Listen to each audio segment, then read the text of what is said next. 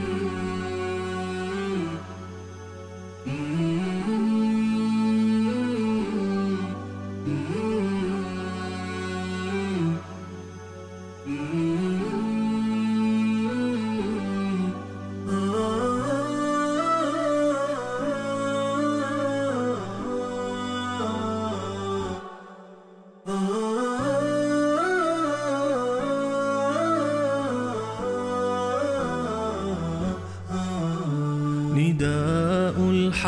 صوت قد شجاني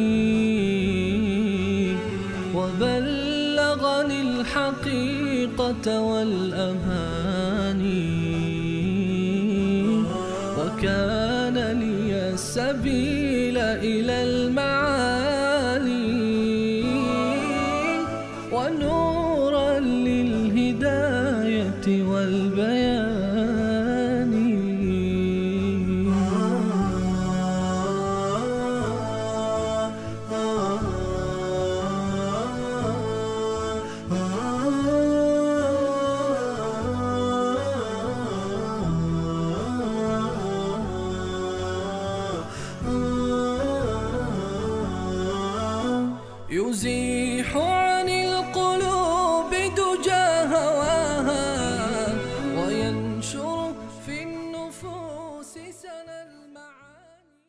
الله الرحمن الرحیم الحمد لله رب العالمین و صلاة و السلام علی سید الانبیاء والمرسلین و علی آله و صحبه اجمعین و درود و سلام بر شما بینندگان عزیز و گرامی برنامه آن روی سکه برنامه ای که در آن با آن روی سکه مذهب رافضگری مذهبی که عبدالله ابن سبع یهودی آن را برای ضربه زدن به اسلام و دین محمد مصطفی صلی الله علیه و آله و سلم و اصحاب و یاران گرانقدرشان و اهل بیت اطهارشان بنا نهاد تا با نقاب اهل بیت بر اسلام ضربه بزند. اما در طول تاریخ فرزندان اسلام و دعوتگران مخلص و علمای جهان اسلام در راستای افشای چهره واقعی این تاجران دین فروش زحمت کشیدند چه بسا کسانی که در این راه جهاد کردند و خون پاک خود را ریختند ما هم در شبکه جهانی وسال حق در برنامه آن روی سکه شما را با آن روی این مذهب فروشان و دین فروشان و مدعیان دروغین تشیع و محبت علی ابن ابی طالب رضی الله تعالی عنه. و اهل بیت پیامبر بزرگوار اسلام صلی الله علیه و آله و سلم آشنا خواهیم کرد. اولین کلیپی که در برنامه امروز می‌خوایم خدمت شما بزرگواران پخش بکنیم کلیپ افسانه های هدفمند است. شاید با روزخان ها و کسانی که در مجالس در بین شیعیان دروغ میبافند و تهمت ها و اهانت های خیلی زشتی رو به یاران رسول الله و به اهل بیت رسول اکرم صلی الله علیه و آله و سلم نسبت میدن. کم و بیش آشنا هستید. چه کسانی که در این مجالس شرکت کردن و چه کسانی که نمونه هایی از این مجالس را در شبکه ها دیدن و شنیدن. این هم یکی از افسانه های هدفمندی است که یکی از این رافضی ها به خورد مردم میده. کلیپ شماره 591 رو دوستان عزیزمون در اتاق فرمان زحمت بکشن. آقا احمد بزرگوار کارگردان محترم برنامه کلیپ شماره 591 رو هم پخش بکنن تا با یکی از این افسانه های هدفمند آشنا بشیم.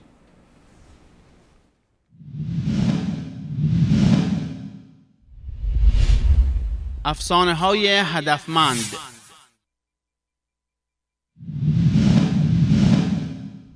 مادر امیر المومنین سلام الله علیه. که نقل کرد. فاطمه بنت اسد که من و پسرم جعفر برادر امیر المومنین وقتی من وارد شدم تو مسجد حرام جعفر پسرم برادر امیر المومنین همرام بود. همچه که داشتم میچرخیدم تواف می‌کردم جعفر پسرم دستش تو دست من بود. خب پسر بچه ده سال است دیگه وقتی داره راه میره دیدین دست می‌کشه به ویترین مغازه ها طبیعی جعفر دست می‌کشید به این بتهایی که تو مسجد الحرام نصب شده بود. یه وقت دیدم بچم علی تو شکمم صدا می‌کند. های داداش جعفر دست تو به این بتهای نجس نده. یه وقت دیدم بچم علی تو شکمم صدا می‌کند. های داداش جعفر دست تو به این بتهای نجس نده. از آنجایی که رافضه معتقد به افضلیت ائمه بر پیامبران هستند تلاش می کنند تا به هر نحوی معجزات انبیای پیشین و بلکه بزرگتر از آن معجزات آنها را به ائمه بزرگوار نسبت دهند. یکی از معجزات عیسی علیه السلام این بود که در گهواره با مردم سخن می گفت اما این آخوندها مدعی می شوند که علی رضی الله عنه در شکم مادر سخن گفته است. تا علی رضی الله عنه را بر عیسی علیه السلام برتری دهند. پیامبر اکرم صلی الله علیه و آله و سلم در چهل سال قبل از بعثت از پیامبری خیش با خبر نبود و با وجود آن که هرگز در دوران قبل از بعثت خیش به هیچ بتی تعظیم نکرد و به هیچ گناهی آلوده نشد اما در این چهل سال هیچ یک از اهل مکه و حتی نزدیکترین افراد خود را از بت پرستی باز نداشت و دعوت به توحید نکرد اما این آخوند ادعا می کند که علی رضی الله عنه در شکم مادر و ده سال قبل از بعثت پیامبر صلی الله علیه و آله و سلم به توحید دعوت می داده است. هدف اصلی از بیان این گونه افسانه های خود ساخته برتری دادن علی رضی الله عنه بر تمامی پیامبران و حتی پیامبر اکرم صلی الله علیه و سلم است. به این کلیپ توجه فرمایید. مالک یوم الدین ظهورش در امیر المؤمنینه روز قیامت کار دست امیر المؤمنینه آقا یبن رسول الله به امام صادق عرض کرد این حدیث از شماست که نقل می‌کنن لا یعبر الصراط الا من کان به یدهی سکن او برات من ید علی ابن ابی طالب. آقا جان روز قیامت هیچ کی از پل سرات رد نمیشه مگر در دستش کاغذی باشه یک چکی باشه که درش امضای امیرالمؤمنین نوشته شده که آزا ولیون این درسته؟ فرمودم بله. یزمات از کرد حتی الانبیا پیغمبرها هم آدم موسی عیسی هود صالح شیخ همه این پیغمبرها اینا لازم دارن این؟ حضرت نگاهی کردن فرمودن حتی خاتم الانبیا. حضرت نگاهی کردن فرمودن حتی خاتم الانبیا. قضاوت با شماست.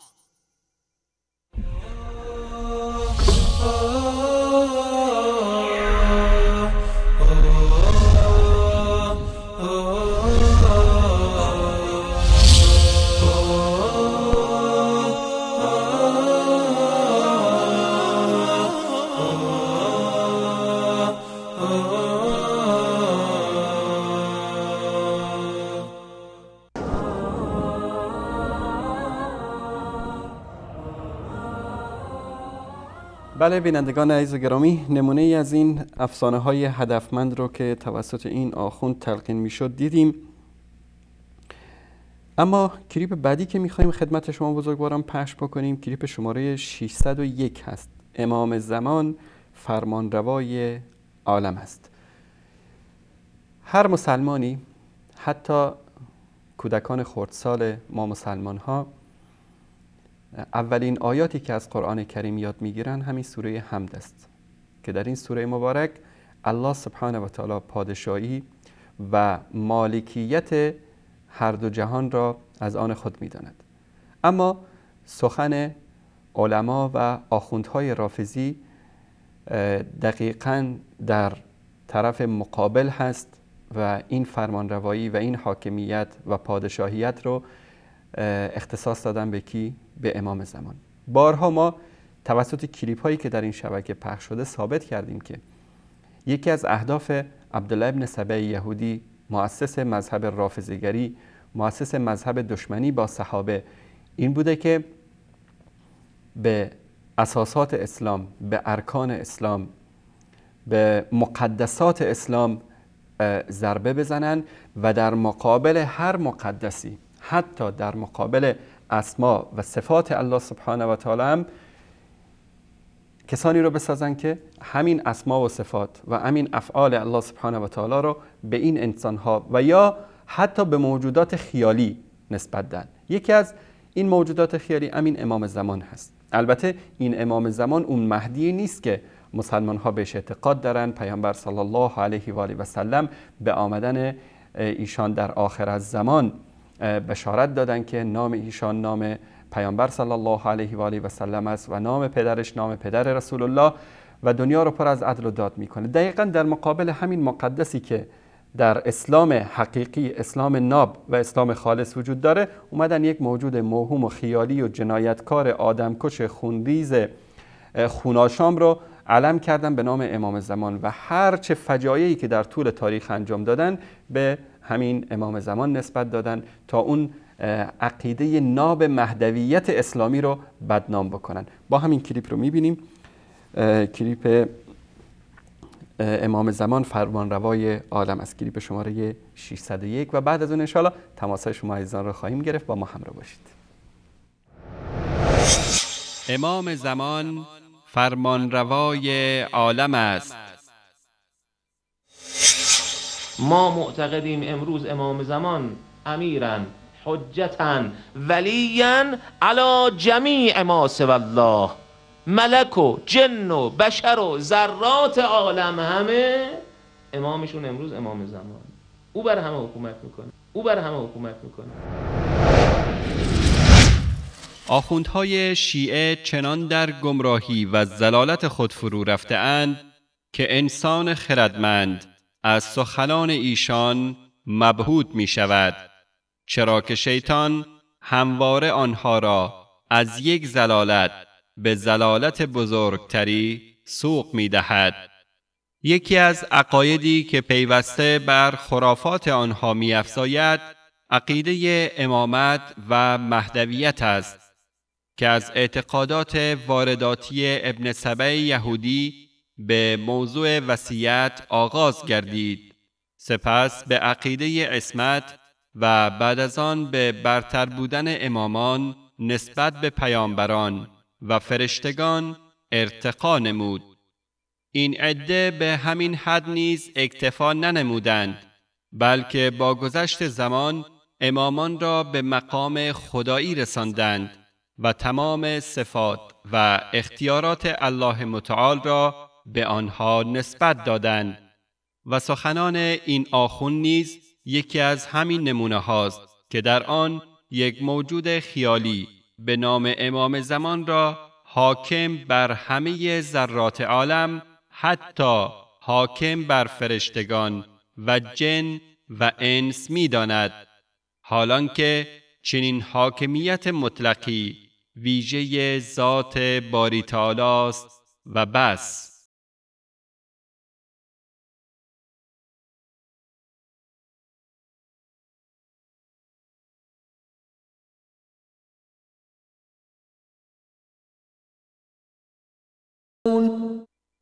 بگو پادشاهی و فرمانروایی بر همه چیز به دست کیست و کیست که امان می‌دهد و هیچ کس در برابرش امان نمییابد اگر شما می‌دانید.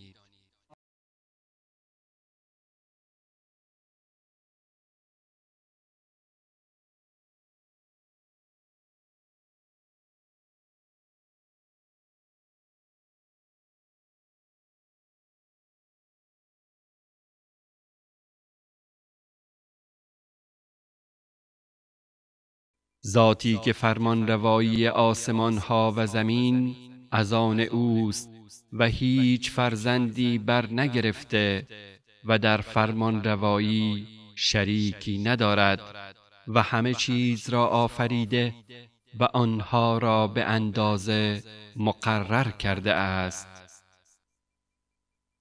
بگو آیا به آنچه که جز الله می‌خوانید توجه کرده اید؟ به من نشان دهید چه چیزی از زمین را آفریدند و آیا در آفرینش آسمان ها مشارکتی داشته اند؟ اگر راست گویید کتابی پیش از این یا بازمانده ای از دانش گذشتگان را برای من بیاورید که ادعای شما را تایید کند و هیچ کس گمراه تر از کسی نیست که کسانی جز الله را به فریاد می‌خواند که تا روز قیامت نیز درخواستش را پاسخ نمی‌گویند و آنان از دعا و درخواست ایشان بیخبرند. و هنگامی که مردم گرد آورده شوند دشمن آنان خواهند بود و عبادتشان را منکر می‌شوند و نمیپذیرند.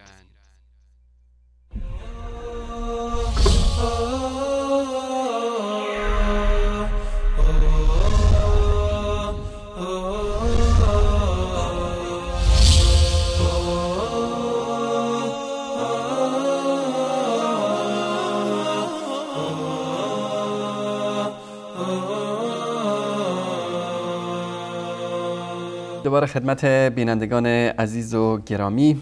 این دو تا کلیپ رو دیدید. از همین لحظه شماره تلفن برنامه زیرنویس خواهد شد و شما عزیزان می توانید تماس بگیرید و در مورد مسائلی که در این دو کلیپ مطرح شده اظهار نظر بکنید.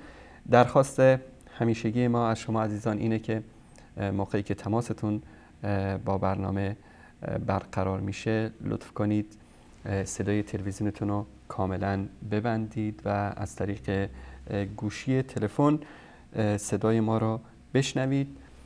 چون صدا را از طریق تلویزیون شما با چند ثانیه تاخیر میشنوید و این سبب میشه که ما نتونیم ادامه بدیم و صحبت های شما رو پخش بکنیم.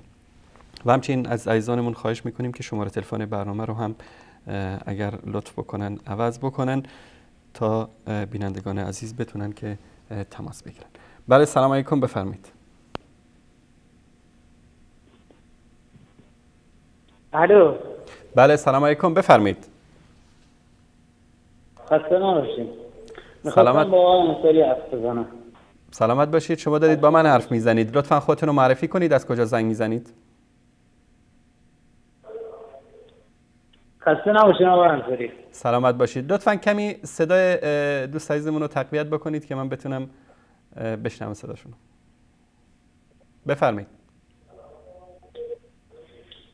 خسته نباشید آقای شما خوبه؟ سلامت باشید. لطفا خودتون رو معرفی کنید از کجا زنگ می‌زنید؟ من از خراسان زنگ می‌زنم از مشهد. خسته انصاری سلامت باشید بیننده عزیز از خراسان. ما دو تا کلیپ پخش کردیم. در مورد هر کدومش دوست دارید صحبت کنید بیننده عزیز. واقعا من خیلی شما رو دوست دارم.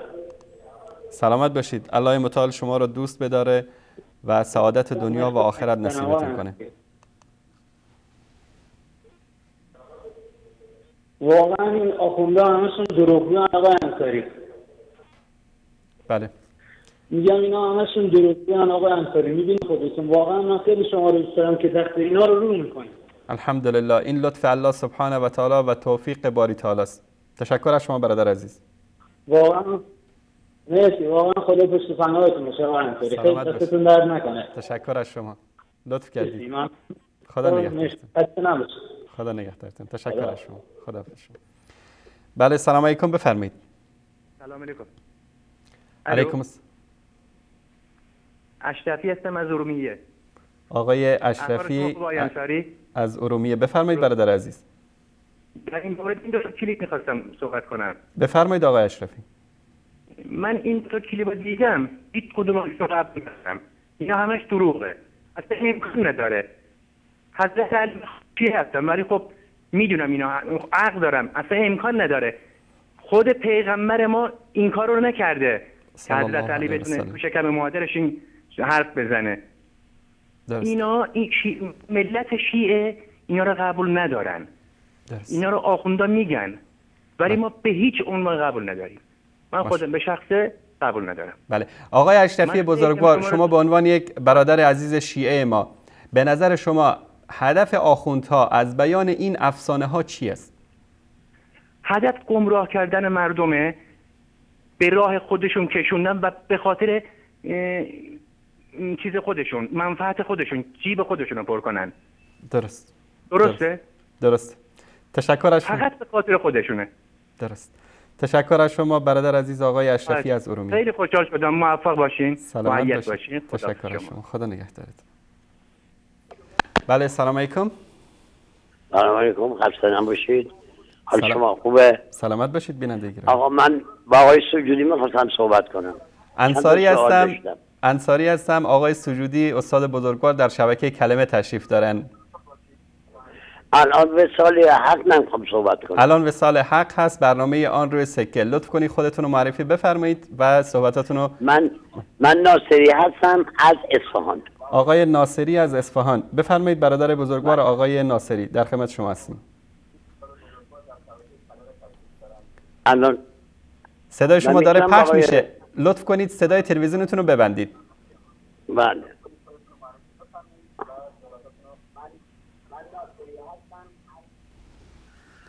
الو من ناصری هستم از اصفهان خدمتتون. بفرمایید آقای ناصری صحبت های شما رو میشنویم. حال صدای شما داره خوبه؟ پخش میشه. خیلی متشکرم قربان شما. حاج آقا میبخشید من سلام نکردم. اولا سلام علیکم خسته نباشید. از شما خیلی متشکرم با این برنامه خوبتون. سلامت باشید. یه موضوعی هست یه موضوعی هست که اینو من چند وقت الان درگیر این مسئله هستم و می‌خوام واقعا بفهمم موضوع چیه. بفرمایید. یه من- مناظره ای داشتن چند شب پیش آقای هاشمی از شبکه کلمه با آقای اللهیاری در رابطه کفر آیشه ام المؤمنین ایشون جواب ندادن آقای چیز آقای اللهیاری سوال کردن ولی آقای چیز جواب ندادن. هم مسئول مجری برنامه کلمه آقای هاشمی. درست. جواب ندادن. هی تلفن رو قطع می‌کردن. چندین مرتبه آقای اللهیاری زنگ زد و مجددا قطع کردن. من نداد جواب. من می‌خواستم ببینم این جواب کفر آیشی چی بوده که آقای اللهیاری چندین مرتبه اه، با سند و مدرک گفت ارائه داده. ولی ایشون جواب نتونستن خب بدن. یکی از این روشن. آقای ناصری بزرگوار به یکی از این سندها و مدرک هایی رو که ایشون ارائه داده شما لطف کنید. بفرمایید تا من رو من یادم قربون. آقای چیز ایشون آقای ایالاری گفت یه مدرک نه چندین مدرک دارم که باید ارائه بدم. یکی دو تاشا از قرآنم خوند برای آقای هاشمی و گفت من- بازم زیاد دارم از این مدارک. از کتاب های خودتون و از کتاب حالا یکیشو برادر من بزرگوار هیچیش یادم نیست. خب اینطوری که نشد الان من چی رو جواب بدم؟ چون اولا من علاقه ای ندارم به این شخصی که شما ذکرشو کردید. چون اه، بله. این انسان انسان حتاکیه. عفت کلام رو نگه نمیداره. توهین می‌کنه اهانت می‌کنه. در باب مناظره و صحبتهای علمی کسی که انسان حتاک و بیادب و بیتربیتی باشه ما منهجمون روشمون این نیست که با این شخص مناظره بکنیم یا صحبت بکنیم. گرچه بعضی از کلیپ های این رو پخش کردیم و دوستانمون جواب دادن و ما از چهار سال به این طرف رسما اعلان کردیم و بارها هم تکرار کردیم که ما آماده مناظره با این شخص هستیم. فقط دو شرط داریم. اون میگه که من کفر ابوبکر و عمر و عایشه رو ثابت می‌کنم. ما میگیم موضوع مناظره ثابت کردن مسلمان بودن حجت الاسلام اللهیاری حسن اللهیاری. ما بحث می‌کنیم با ایشون. ایشون بیاد مسلمان بودن خودش رو اول ثابت بکنه و ما کفر ایشون رو ثابت می‌کنیم. این یکی. ثانیا به مجرد اینکه یک کلمه توهین و اهانت به اصحاب و اهل بیت پیامبر بکنه ما صداش رو قطع می‌کنیم. متوجه شدید؟ آقای هاشمی خودتونی؟ من انصاری؟ هستم. آقای انصاری عذر می‌خوام من اصلا روی این موضوع سوادم آنچنانی نیست که بخوام من فقط درگیری این مسئله شدم که چرا این هیچ سوال می‌کرد و آقای هاشمی جواب نمی‌داد این مسئله را چندین مرتبه زنگ زد بعد تلفن قطع می‌کردن آقای ناصری. آقای ناصری بله. آقای ناصری برادر بله. بزرگوار بله. من از بله. صدای شما معلومه که شما سنی گذشته الان شما بله. یک یک برادر شیعه ما هستید درسته من خدایی نکرده هشت سالمه بله یک انسان حتی که ناسبی کافر بیاد بگه که آقای ناصری بیا من کفر علی ابن ابی طالب رو برات ثابت می‌کنم یا کفر. ابوبکر و عمر رو ثابت. می‌کنم یا کفر حسن و. حسین رو ثابت می‌کنم و. بیاد و بیاد با یک سری مثلا تلبیس ها و خیانت ها بخواد این عمل زشت رو انجام بده آیا شما خودتون رو در شأن این می‌بینید که با این شخص بشینید مناظره بکنید؟ نه من اصلا ناگهانی این روشن کردم کانالشو. بله. خب داشتم دقیقاً بله دقیقاً دقیقاً همین همین مسئله سبب میشه که علمای اهل سنت با این شخص حتاک مناظره نکنن. چون کسی که میاد در شروع مناظره میگه که آقا فلانی کافره. به بله. قرآن اعتقاد نداره. به روایت اعتقاد نداره. خب شما با این شخص می‌خواید چطوری بحث و مناظره بکنید؟ خیلی متشکرم. لطف کردید. تشکر. تشکر از شما. اندازه آشنا شدم با مسائل. خیلی متشکرم. زنده باشید. زنده باشید. من یک نکته دیگر هم خدمت جناب آقای ناصری اضافه بکنم. یکی از روایت هایی که آقای این شخصی که شما ذکرش رو کردید بهش استناد می‌کنه برای کفر العیاذ بالله همسر بزرگوار پیامبر صلی الله علیه و آله و سلم ام المؤمنین عایشه صدیقه رضی الله تعالی عنها. این دلیل هست که بارها اینو نشون داده و در شبکه خودش و من همینجا فکر کنم اینو دارم. بله دوستان اگر لطف کنن نشون بدن. این تفسیر قمی است. یکی از علمای رافضی که حرمت پیامبر صلی الله علیه و آله و سلم و همسرشون رو نگه نمیداره. و در اینجا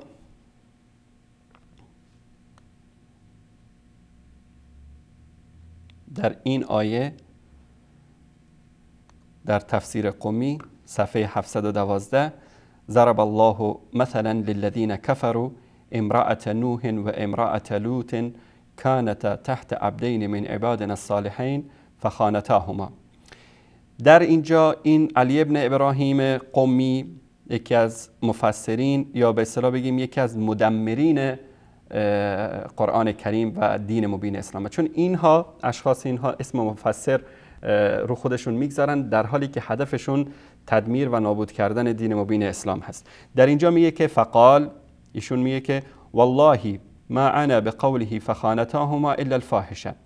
میگه که این در اینجا منظور الله سبحانه و تعالی که مثال می‌زنه زن نوح و زن لوط رو به آیشه و حفصه منظور از خیانت در اینجا چیزی نیست مگر فعل فاحشه. یعنی العیاذ بالله همسر گرامی پیامبر صلی الله علیه و آله و سلم مرتکب زنا شده. و لیقیمن الحد علی فلان فيما اتت فی الطریق اینجا طبعا من بارها نشون دادم که علمای شیعه یکی از عاداتشون اینه که تحریف می‌کنن کتابای خودشون. یا کسانی که بعد از اونا میان به خاطر هفته وحدت و شعارهای دروغین وحدت بین شیعه و سنی این کتابا رو تحریف می‌کنن.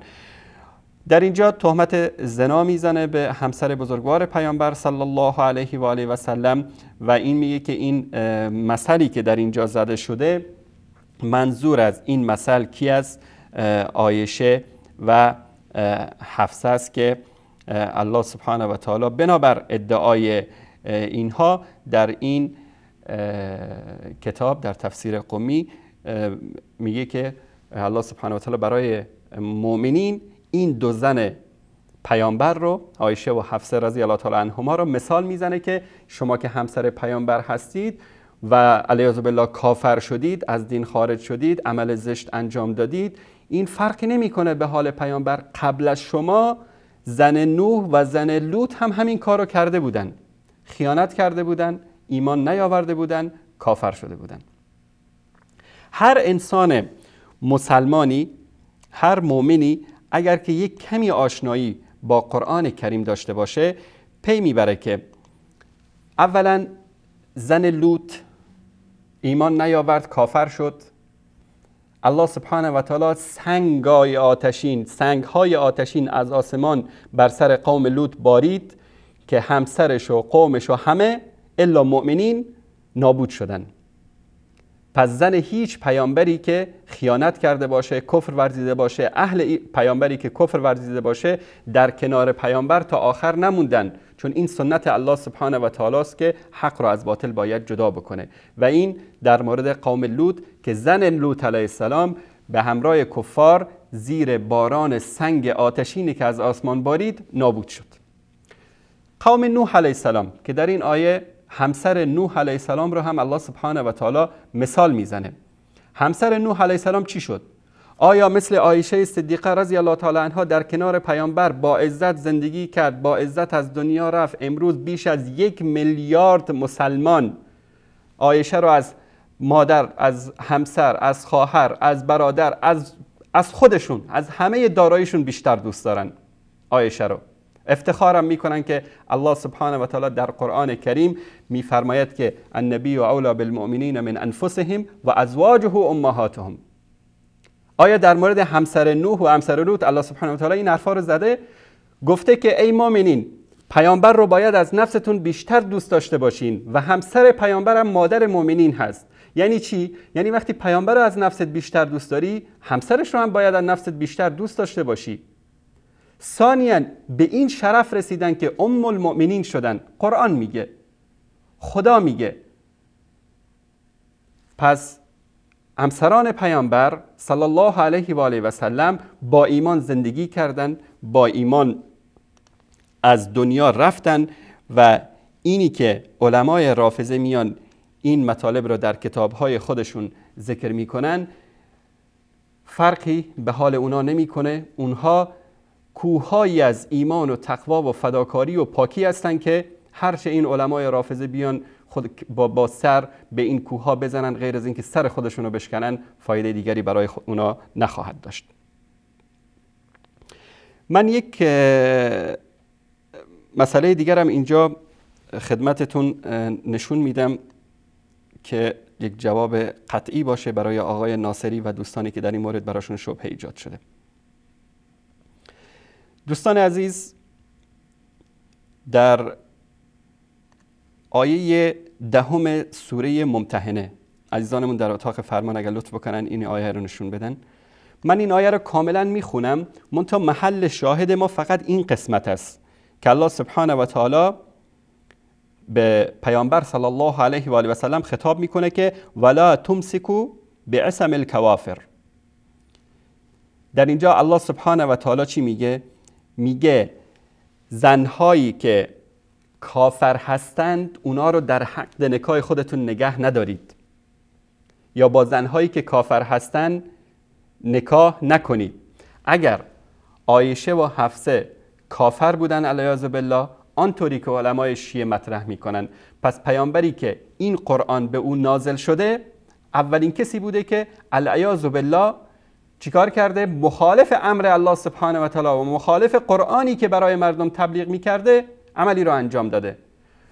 و در همین قرآن میگه که لما تقولون ما لا تفعلون؟ چرا چیزی رو که میگید بهش عمل نمی کنید پس پیامبر چیزی رو گفته ولی از الله بهش عمل نکرده. من در شروع صحبت ها گفتم که و بار هم تکرار کردیم در این برنامه که هدف رافضه از این توین ها و اهانت ها این اشخاص براشون مهم نیست.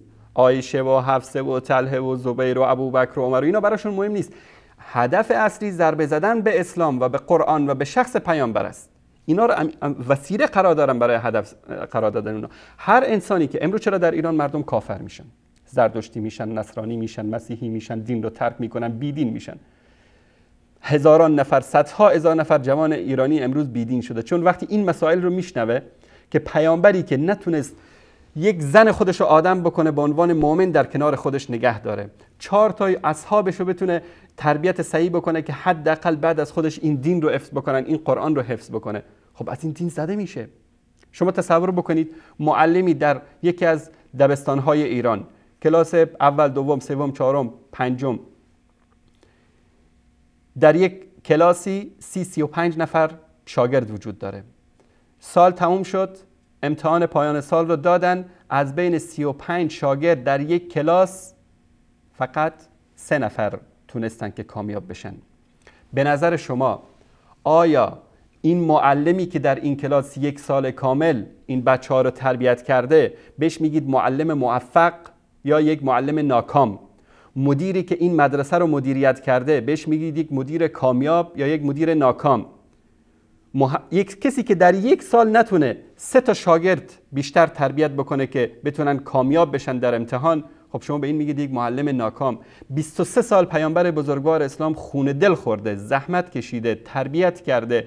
شب و روز خون از بدن مبارکش جاری شده. عاقبت هم سه نفر سلمان و مقداد و ابوذر سه نفر مسلمان بودن. نهایتش خیلی هم ترحم بکنن رحم بکنن به حال اسلام میگن چهار نفر مسلمان بوده. پیامبری که نتونست پدر خانومش رو آدم بکنه زنش رو به صلاح مؤمن و مسلمان بکنه اصحابش رو به اونا تعلیم دین بده اونا رو بتونه مؤمن بکنه و تربیتشون بکنه. خب این یک پیامبر ناکام هست. هدف شیعه امین هست. هدف روافض امین است که برای مردم اینطوری ثابت بکنن که محمد مصطفی صلی الله علیه و آله و سلم در دعوتش ناکام بوده. هدف اصلی پیامبر است. اینها رو همه رو وسیله و هدف قرار دادن. ترجمه این آیه رو من کامل براتون می‌خونم. آیه دهم سوره ممتحنه. در اینجا الله سبحانه و تعالی میفرماید ای کسانی که ایمان آوردید انگامی که زنان مؤمن هجرت کرده به نزد شما آیند پس آنها را آزمایش کنید. الله به ایمانشان داناتر است. پس اگر آنها را زنانی مؤمن یافتید آنها را به سوی کفار باز نگردانید. نه آنها برای آنان یعنی کافران حلالند و نه آنها یعنی کافران برای اینها حلالند. و آنچه را شوهران کافر خرج کرده اند به آنها بدهید و گناهی بر شما نیست که با آنها ازدواج کنید هرگاه مهریهشان را به آنها بدهید. و در صورت ارتداد از اسلام به عقد زنان کافر تمسک مجویید. حالا اگر آیشه و حفصه کافر شدن یا کافر بودن پیامبر صلی الله علیه و آله و سلم چرا اینا رو در عقد ازدواج خودشون قرار دادن؟ و آنها را رها کنید. و آنچه را خرج کرده اید مطالبه کنید و کافران نیز آنچه را خرج کردن مطالبه کنند. این حکم الله است که در میان شما حکم می کند و الله دانای حکیم است. من تشکر می کنم از آقای ناصری که این موضوع رو باز کردم و من مجبور شدم به شکل مفصل اینو جواب بدم. بله سلام علیکم بفرمایید. الو. بله سلام علیکم. بیننده گرامی لطفا صدای تلویزیونتون رو ببندید.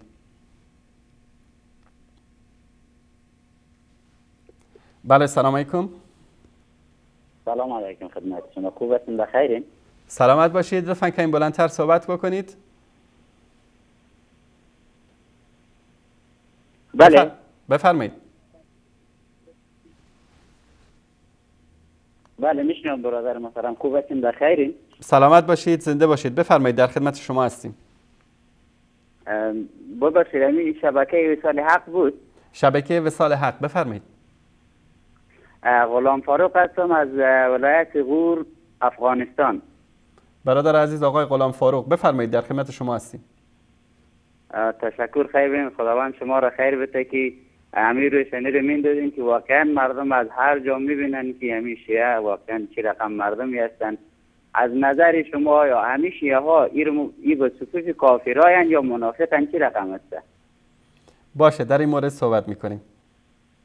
تشکر خیر بینید زنده باشید. تشکر از شما. بله سلام علیکم بفرمایید. عبدالکریم هستم از نور زمین. آقای عبدالکبیر بفرمایید برادر عزیز و گرامی.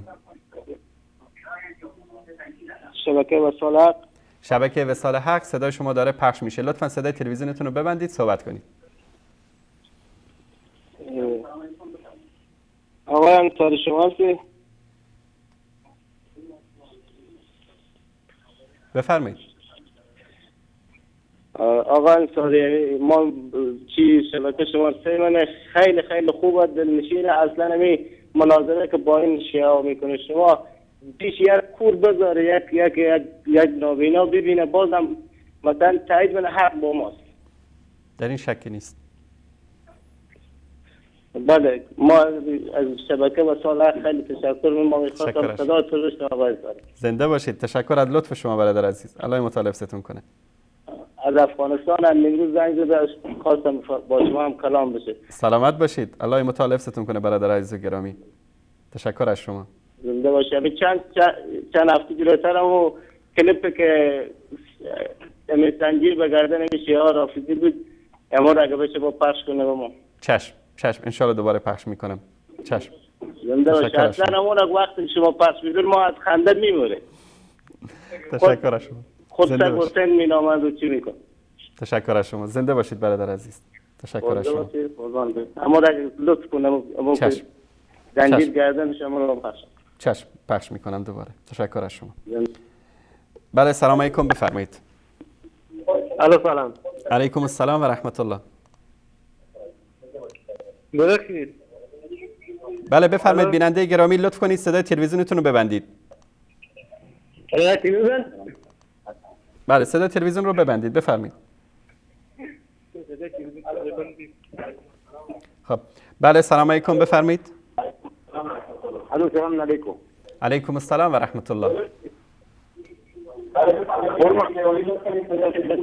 مثال حقه وسال حق لطفا صدای تلویزیونتون رو ببندید بفرمایید چش بستم بستم چش چش قربان می‌خواستم احمد هستم از کرمان آقا احمد از کرمان بفرمایید احمد آقا آقا من شیعه هم ولی متاسفم خودم به حالت خودم که شیعه هم الله اکبر. چرا؟ به واسطه که تو ای- ایران ما بیش از دروغ و چه می‌دونم حق بازی و پدر سجگیری دیگه هیچی. الله المستعان. الله. الو؟ بله میشنوم. میشنوم آقا احمد. خدا بیش از دروغ و حرومزادگیری و نامردی دیگه هیچی. می میری توی شهرداری می‌خوای یه پروانه بگیری زندگی تو باید بفروشی بدی میری تو می‌دونم می‌خوای بچه بزرگ نمی‌تونن ازدواج کنن نه کاری نه خونه نه زندگی هیچ. بله. احمد آقا احمد آقا این آخوندا اد... احمد آقا آخوندا ادعا می‌کنن که حکومت عدل علوی رو آوردن.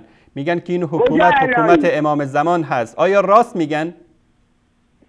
دروغ جدشون دروغ دیگه توشم کجا بیده عدل الهی کجا عدل کجا عدل بی الهی نه عدل الهی کجا مرد مومن من الان سه تا بچه دم وقت دارم همشون تو خونه مونن از بیست سالگی نمی‌دونم تو گرمو بکنم الله المستعان تشکر احمد آقا پیام شما رسید امیدواریم که الله سبحانه و تعالی شر اینا رو کم بکنه شرمنده شما خودم معرفتون تشکر از شما زنده باشید تشکر از شما.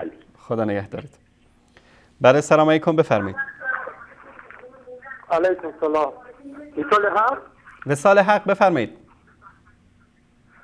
آقای انصاری خطین خصوصی با شما بفرمایید شما دارید با من صحبت می‌کنید. اکه تاجیک چه خیلی شما؟ شما را تماشا می‌کنیم خیلی خوشحال میشیم آقای انصاری. سلامت باشید. ما هم از تماس های شما عزیزان خوشحال میشیم. الله متعال ستون کنه. می‌خواستم همین چی همین موریداتون رو بسیارتر کنیم گوش کنیم. خیلی هدایت یافتیم ما از برنامه شما. تشکر از شما. الله متعال ستون کنه. تشکر برادر عزیز تاجیک به حق ما دعا کنیم که ما هم مقصد خیلی یک علم یک چیز گیریم الله متعال سعادت دنیا و آخرت نصیب شما و همه ملت غیور تاجیکستان بکنه. تشکر از شما. آمین آمین. مجیب الرحمن هم سلام گوید در حق ما. علیک ما و علیه به السلام. حتما انشالله بله، بزرگواری شما رو. تشکر تشکر از شما. تشکر از شما. خدا نگهدارتون. من در اینجا جا داره به مناسبت تماس برادر عزیزمون از تاجیکستان کلیپ یکی از علمای تاجیکستان. دقیقا من اسم ایشون رو نمی‌دونم اما واقعا صحبت های جالبی دارن. من این کلیپ رو پخش می‌کنم و به این مناسبت من خواهش می‌کنم از برادران عزیز و خواهران گرامی تاجیک که اگر کلیپ هایی از علمای تاجیکستان سخنرانی های اونها مطالب مهم و شنیدنی دارن برای ما به همین ایمیلی که دوستان عزیزمون زیرنویس خواهند کرد بفرستن تا ما بتونیم این کلیپ ها رو در برنامه ها پخش بکنیم و از صحبت های علمای تاجیکستان هم در برنامه ها استفاده کنیم. عزیزانمون در اتاق فرمان اگر لطف کنن صدا و تصویر رو داشته باشن. این مردم عواموناس یک بودش پروش کس ندارن می همه نماز می‌خونم میخیزه میره. اینم اگر که به شرطی که من برای شما نفهمونم که مرد بچه های خوب شما از شیعه پرهیز بکنید که شیعه دشمن است. کشتگی شیعه را نخرید. روافیزه از قفاش در مذهب معظم از قفاش خوندن درست نیست. این فتوای بلد حرام فتوای مکه و مدینه. یک باب داره که از قفای روافیز نماز خوندن درست نمیشه و مذبوحش هم حرام است کشتن. خوردنش حرام است نمیشه. این همی سخنان رو که شما نشنوید شما کجا عقیده را کجا می‌گیرید و بعد عقیده اهل سنت و جماعت از دوره خلافت حضرت علی کرم الله بیشتر تا حاضر ما با چی داریم؟ ما زیدیت داریم. در عقیده ما درست نمیآییم ما چه خیلی وارد دوست داریم که صحابه پیغمبر خدا را بغیر چهار تاش همش کافر میگن ما چه خیلی شیعه دوست داریم که او بگن جبریل خطا کرد. باید علی دمی آورد محمد آورد. چه ما دوست داریم؟ ما شیعه را دوست نمیداریم خدا شاهد است. و کسی شیعه را تعریف می‌کنه دوست نمیداریم. شیعه او ترابیسته کسی شیعه را از منبر تعریف می‌کند او ما دوست نمیداریم. برای چی؟ برای که من احب قوما فهو منهم. کسی کدام قومی را دوست بدارن هم قدیمه خیزه خدا شاهده که کسی شیعه را تعریف می‌کنه ما دوست نمیداریم. شما هم دوست ندارید. شما جایی که صحابی موندگی اهل سنت و جماعت موندگی کسی شیعه را تعریف می‌کنه رو دوست میداره نه دوست نداری شما.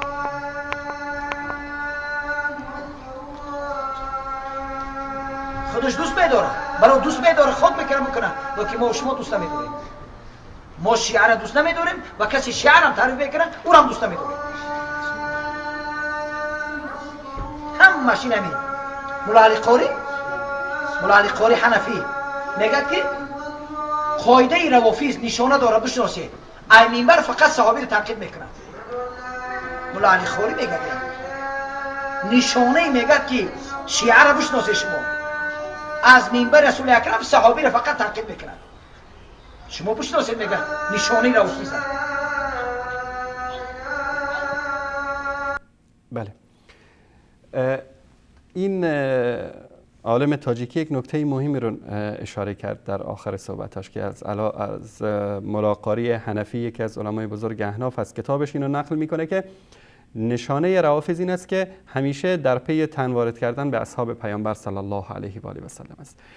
من یک نکته رو خدمت آقای ناصری و بقیه دوستانی که ابراز احساسات کردن در مورد قضیه توهین به اصحاب و امات مؤمنین تا حالا یکی از علمای شیعه رو دیدید که در منابرشون مساجدشون حسینیه هاشون برنامه تلویزیونشون برنامه گذاشته باشن در مورد کفر ابو جهل کفر امیه ابن خلف کفر عتبه و شیبه و ربیعه و فرعون و نمرود و کفاری که در طول تاریخ بودن و ظلم و ستم کردن به امت تالا دیدید؟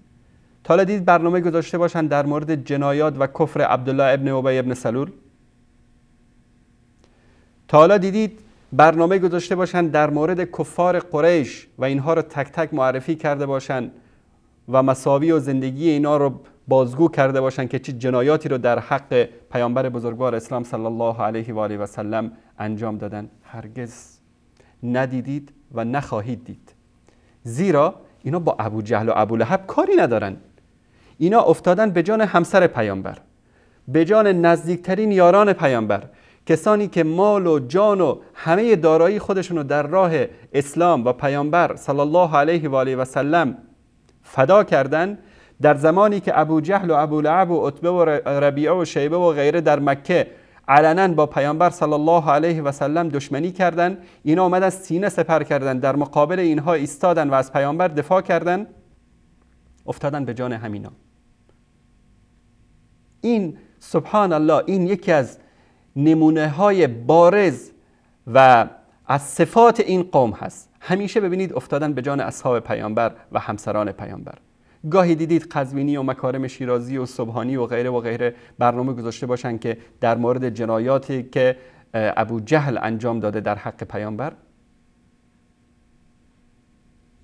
چون هدف اینها هدف ابو جهل است. همون هدفی که ابو جهل در صدر اسلام از نابودی و ضربه زدن به پیامبر داشت همین هدف رو داره امروز مکارم شیرازی و قزوینی و سیستانی و صبحانی و غیره منتها با ماست که چی؟ محبت علی و آل علی محبت اهل بیت.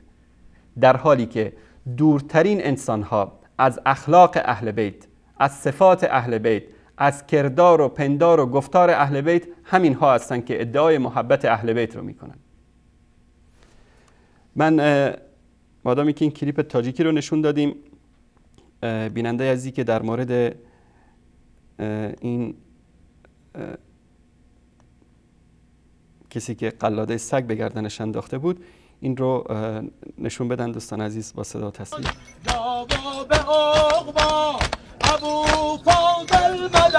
ذکر مسیحا حسین ابن علی. سالار زینب. حسین ابن علی. سالار زینب. حسین ابن علی. سالار زینب.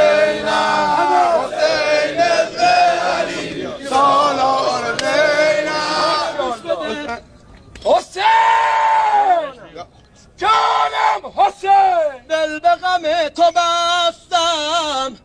توی تمام هستم. از کوچیکی گرفتی.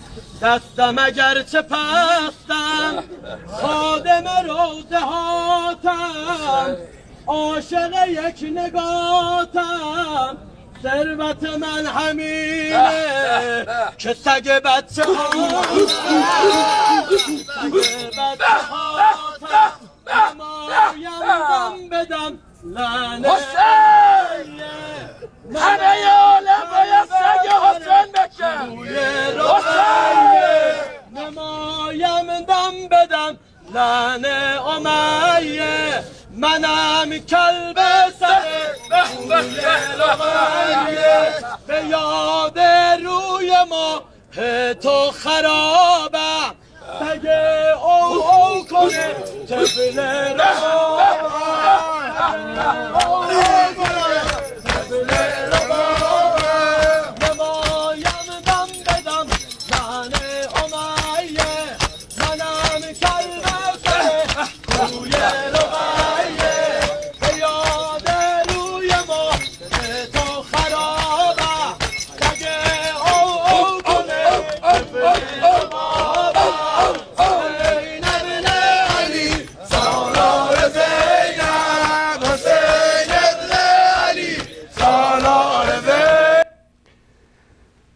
بله بینندگان عزیز و گرامی حالا چرا اینا سگ شدن؟ ما کلیپ های زیادی در این مورد پخش کردیم که آرزو دارن که سگ باشن. کلیپ سگان اهل بیت و کلیپ های دیگری که بارها پخش شده. یکی از دلایلی که الله سبحانه و تعالی اینا رو اینچنین خار و ذلیل کرده و در دنیا لهم خزی فی الدنیا در قرآن کریم میگه و لهم فی الاخرت عذاب علیم. برای اونها رسوایی دنیاست و عذاب آخرت دردناکتر است. رسوایی دنیا همین که الله سبحانه و تعالی میگه ولقد کرمنا بنی آدم. ما بنی آدم رو تکریم کردیم اکرام دادیم در بین همه این موجودات اینو برگزیدیم بهش خطاب کردیم. شما همین اگر می‌خواید که قدر خودتون رو به عنوان یک انسان بدونید فقط یک برید تصویر همین کهکشان راه شیری رو ببینید. و زمین که شاید ب- مانند یک نقطه نورانی در بین این کهکشان باشه. شاید به- یعنی خیلی به مشکل شما بتونید ببینید.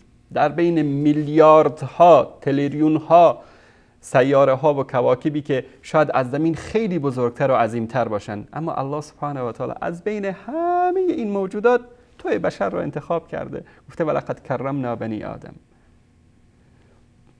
یا ایها الانسان یا ایها الناس یا ایها الذین آمنو الله سبحانه و تعالی با اون عظمتش از بین همه موجودات تو رو انتخاب کرده به عنوان انسان. سوره در قرآن کریم به عنوان سوره انسان. الله سبحانه و تعالی صفات انسانیت رو در این سوره بیان می‌کنه. بعد همین انسان به اندازه پست و رزل و رسوا بشه که از این مقام بیاد پایین و خودش رو چیکار بکنه؟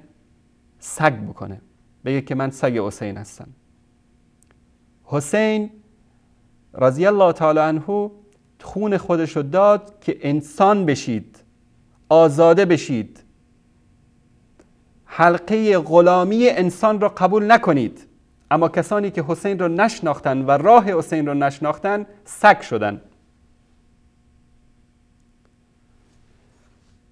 یکی دیگر از رسوایی های اینا که دیدید همین هست و اینکه به سر کله خودشون می‌زنن. واقعا تصاویری خیلی زشت و وحشتناکی از سرشکافتن و سر و سینه زدن و خون از بدنشون جاری میشه که من نمی‌خوام به احترام بینندگان عزیز نشون بدم. اما همه این عذابهای الهی که در این دنیا دارن می‌بینند و عذاب آخرت که گفتیم دردناکتر است به خاطر چی است؟ حالا نمونهشو من اینجا خدمتتون نشون میدم. دوستان عزیز اگر صدا و تصویر رو بذارن. عثمان عمر عمر عمر عمر عمر لعن الله عمر ثم ابا بکر عمر ثم عثمان عمر عمر عمر عمر عمر لعن الله عمر ثم ابا بکر عمر ثم عثمان عمر عمر عمر عمر عمر لعن الله عمر ثم ابا بکر عمر ثم عثمان عمر عمر عمر عمر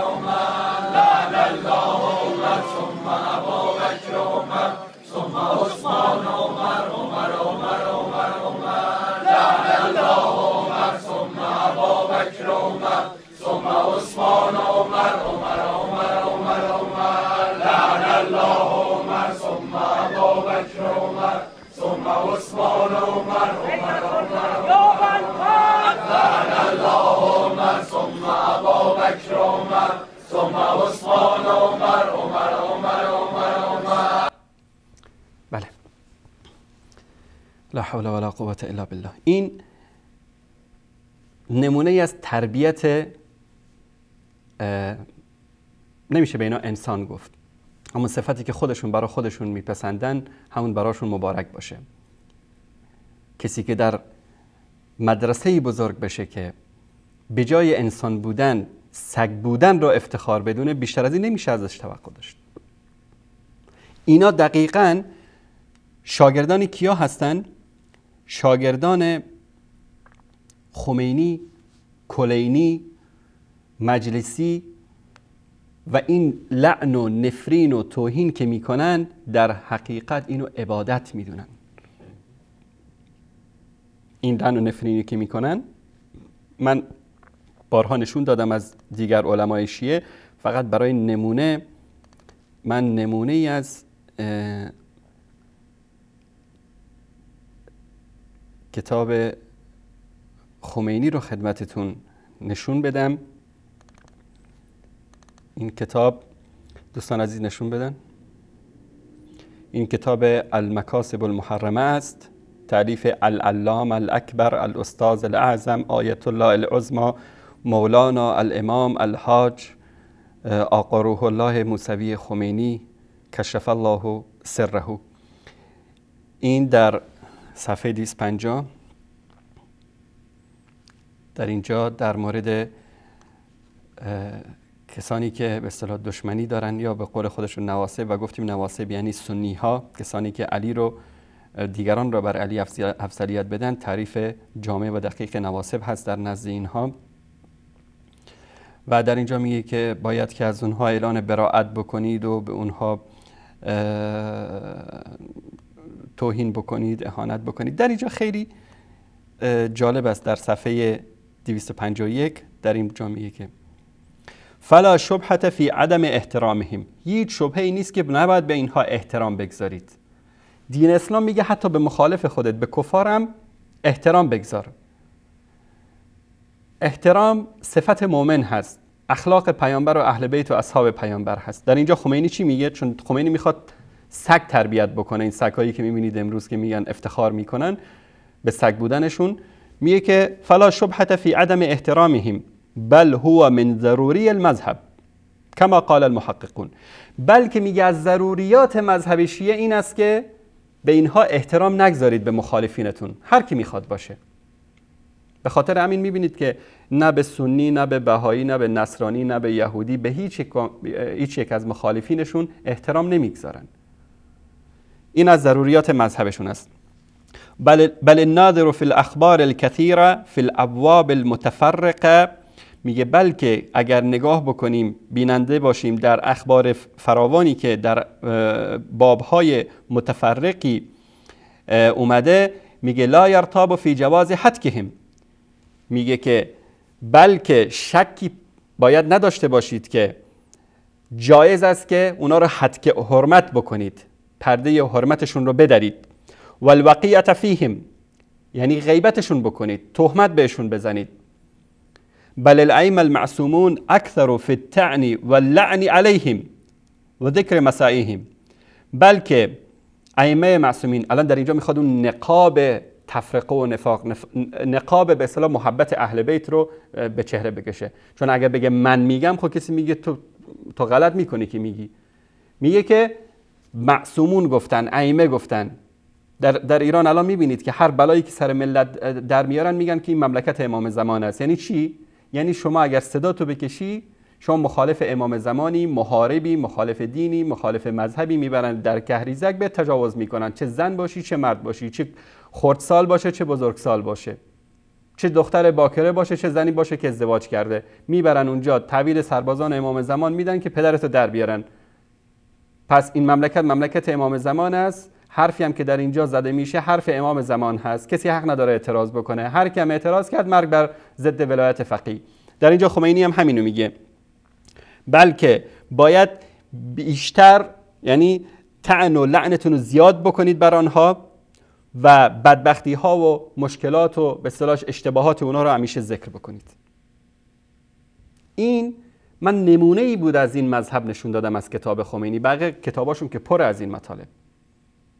غیبت گفتن دروغ بستن تهمت زدن به مخالف نه تنها جایز است در دین آخوندیزم دین مدعیان دروغین تشیع بلکه از عبادات محسوب میشه و قربتا الله این کار رو انجام میدن. بله سلام علیکم بفرمایید.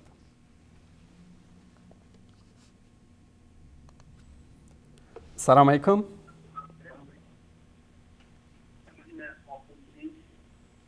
سلام علیکم و علیکم السلام و رحمت الله بیننده گرامی بفرمایید.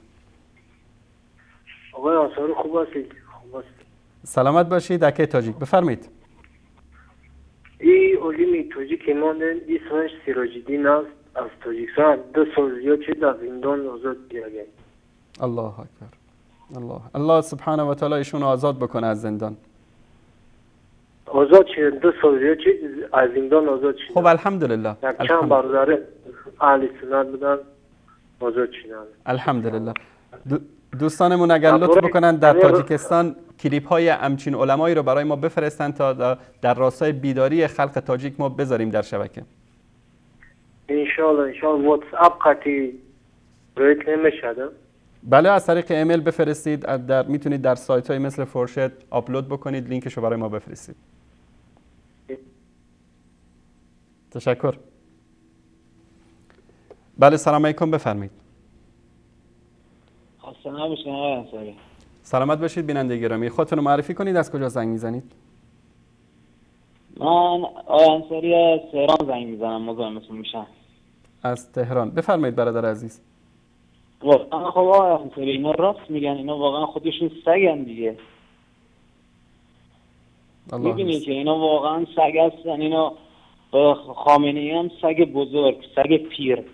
اینا می‌بینی که خودشون سگ صفت می‌کنن. مردم ایران آقای انصاری اینا بدبخت کردن خدا وکیلی. مردم نون ندارن بخورن. چی بگم بهتون؟ الله المستعان. واقعا اینا سگ صفت هستن. واقعا راست میگن. این آخوندا سگ صفتن کسافتن آشغالن عوضیان. همه جوونا محتاط دخترها دم برق هیچی پول نداره. بدبخت مردم نون سر سفرهشون ندارن آقای انصاری. الله المستعان. الله المستعان. واقعا بدبخت شدن مردم ایران. کی میشه دست از سر مردم ایران بردارن اینا؟ یعنی اون روز می‌رسه آقا انصاری. ببینید برادر عزیز الله سبحانه و تعالی میگه که ان الله لا یغیر بقوم حتی یغیر ما بانفسهم. الله سبحانه و تعالی حال هیچ امتی رو تغییر نمیده مگر اینکه نفس خود رو شخص خودشون رو تغییر بدن. اگر ما تک تک خودمون خودمون رو تغییر بدیم به سوی الله رجوع بکنیم از شرک از بدعت از این خرافات دست برداریم من شما خانواده های ما شهر ما استان ما کشور ما همه عوض میشن. وقتی که همه عوض شدن آیا جای پایی برای اینا میمونه؟ نه واقعا نمیونه مردم ایران باید از این خواب قفلت بیدار بشن آقای انصاری. موندن تو خواب- قفلت واقعا بدبخت شدیم ما مردم ایران که به حرف اینا گوش میدن آقای انصاری. الله متعال شرشون از سر ملت شریف ایران دور کنه. الهی آمین. به امید خدا. تشکر از شما برادر عزیز. خسته نباشین آقای انصاری. واقعا. دستتون درد نکنه. خسته نباشید به همتون میگم. سلامت باشید. تشکر. مرسی. تشکر خدا نگهدار. خدا نگهدار. بله سلام علیکم. بفرمایید.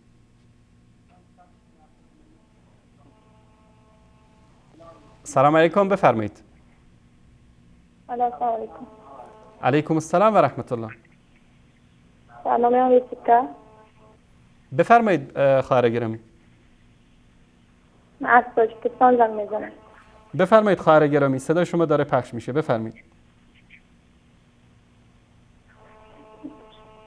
من از این کلیپ هایی که کو بله. خیلی تعجب کردم. چرا تعجب کردید خواهر گرامی؟ من در اصل- اصلا مذهب امام اعظم هستم مذهب کریستیانی هم لیکن هر وقت که من اقدر ایران دوست نداشتم اقدر ایران خصوصی آرزو می‌کردم که مثل زنهای ایران باشم اما متاسفانه این شیعه های رافضه رو دیده در تعجب موندم که اینقدر به کفر و شرک خودشون رو مبادر کردن. الله المستعان. الله المستعان. یعنی خواهر گرامی قبل از این شما فکر می‌کردید که اسلام واقعی همون اسلامی است که آخوندها در ایران به نمایش گذاشتن. اما امروز حقیقت بله. رو پی بردید. بله. من.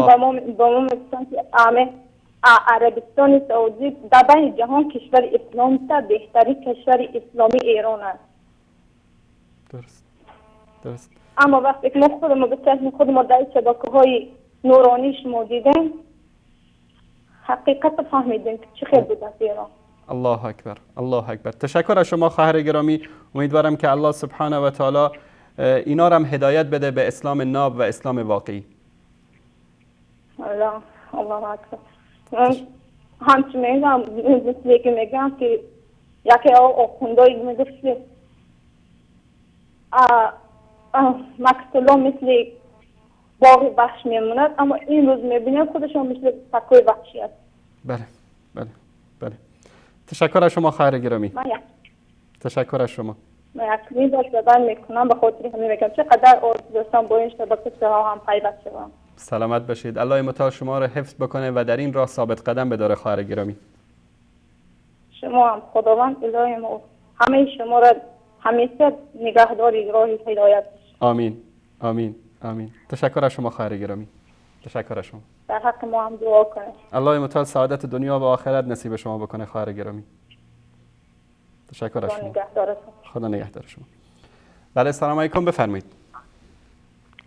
سلام آقای سامیری میگم شما دشمنان رسول خدا رو دوست دارید بعد می‌خواید که با رسول خدا هم مشهور بشید. عزیزم آقا آقای محترم آقای محترم آقای محترم. آقای محترم.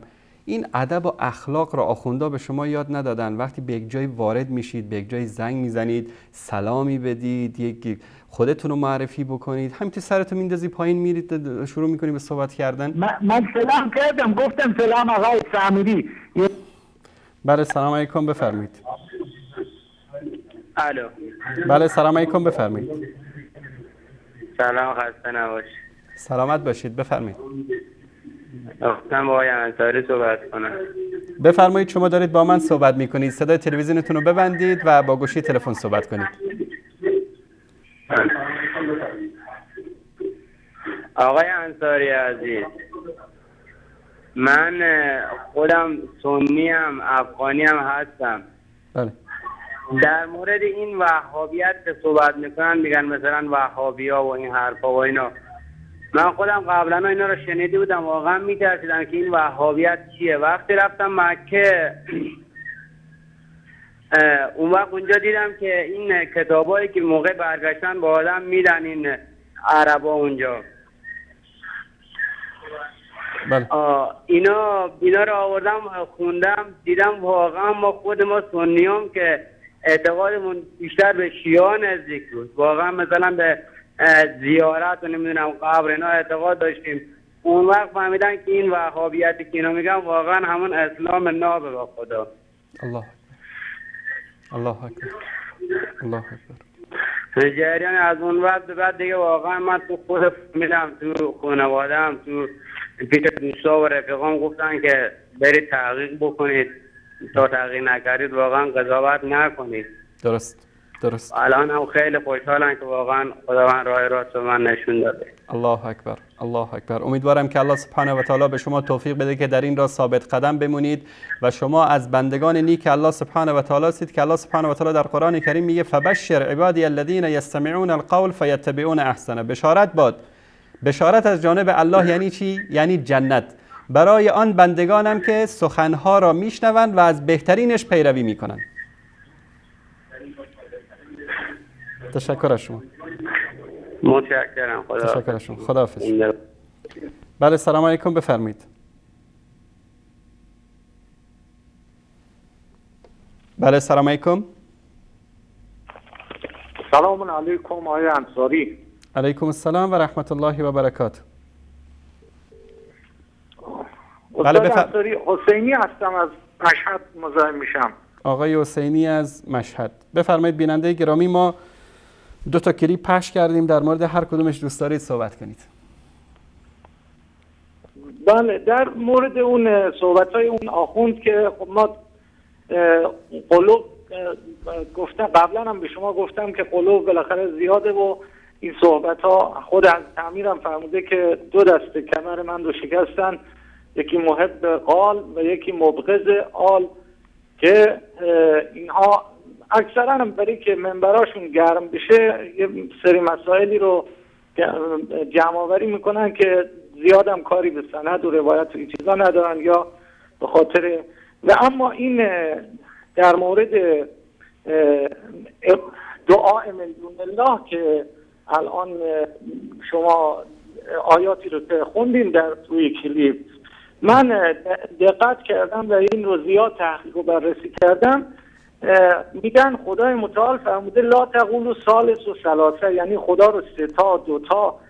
و این که در آیات زیادی از قرآن فرموده که لا من دون الله یعنی منظور خدا اینه که چون مشرکین مکه اون زمان عبادتشون دعا بوده و سجده و رکوع نداشتن خدای متعال میفرماد غیر الله رو اله نخونید. لا مع الله الها آخر. یا میفرماید که دون الله رو اله قرار ندید.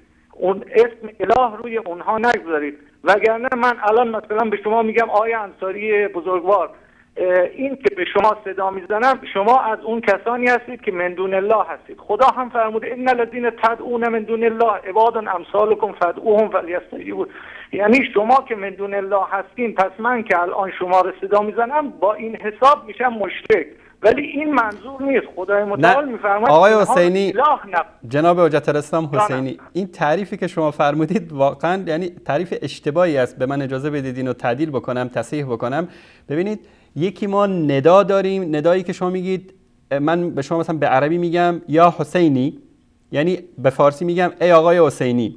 شما به من به عربی مثلا بگید یا انصاری یا به فارسی بگید ای آقای انصاری. شما در حقیقت از من چیزی نخواستید. فقط از من خواستید که من متوجه شما بشم. یا می‌خواهید مطلبی رو به من تذکر بدید. ما دعای استغاثه غیر الله رو غیر از الله رو ما ازش چیزی بخوایم این رو ما شرک می‌دونیم. من نه من و نه هیچ یک از علمای اهل سنت اینو نگفتن که وقتی شما بگید ای آقای انصاری ای آقای فلانی شما مثلا شرک ورزیدید. خب پس من الان میگم آقای انصاری پول دارین به من قرض بدین یا جواب به سوال من رو می‌دید یا مثلا این آیه رو به من نشون می‌دید من دارم از شما درخواست می‌کنم و التماس می‌کنم که این مسئله رو مثلا جواب بدین خب این هم الان درخواست و استعانت از شما. بله الان در- شما من الان اینم جوابتون رو بدم جوابتون رو بدم قرار استعانت بدیم از هر چیزی خدا خودش قرار بده به خدا بله. یعنی خدای متعال. ولی چیزی که هست وقتی ما از چیزی استعانت گرفتیم مثلا دکتر رفتیم. دکتر ما رو معالجه کرد ما حق نداریم بگیم دکتر ما رو شفا داد میشیم مشرک ما باید بگیم خدا ما رو شفا داد.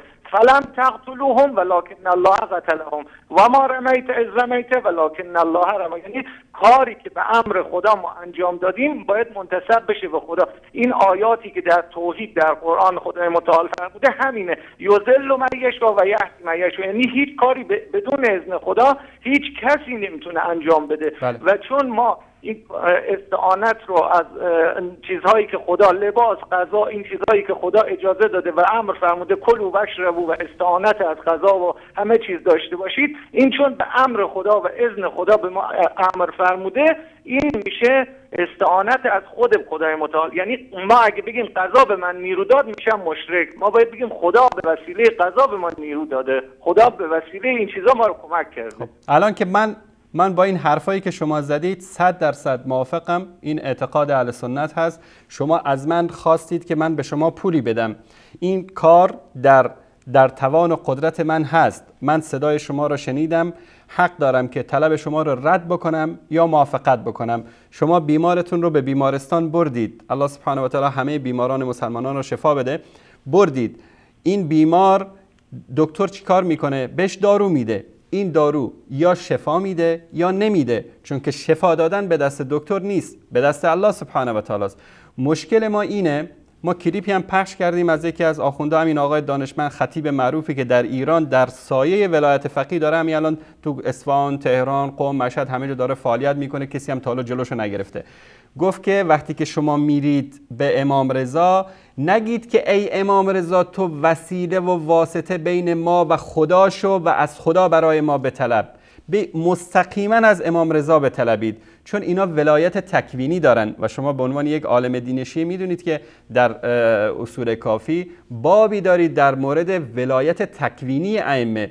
یعنی ائمه می‌تونن روزی بدن می‌تونن جان کسی رو بگیرن می‌تونن به کسی فرزند بدن و می‌تونن این چیزها رو به کسی هم ندن. بدون اینکه رجوع بکنن به الله سبحانه و تعالی چون الله سبحانه و تعالی این قوت رو در وجود اینها قرار داده.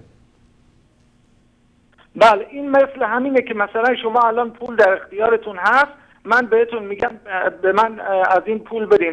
امام رضا و این چیزایی هم که شما فرمودین اگر قبول کنیم که خدا این مسئله رو به اونها تفویض کرده عنایت فرموده مثل همون پول تو جیبیه که اونها از ما بخوان بدن. حالا ما در رد و اثبات این کار ندارم که الان بخوام بگم این درسته یا نه.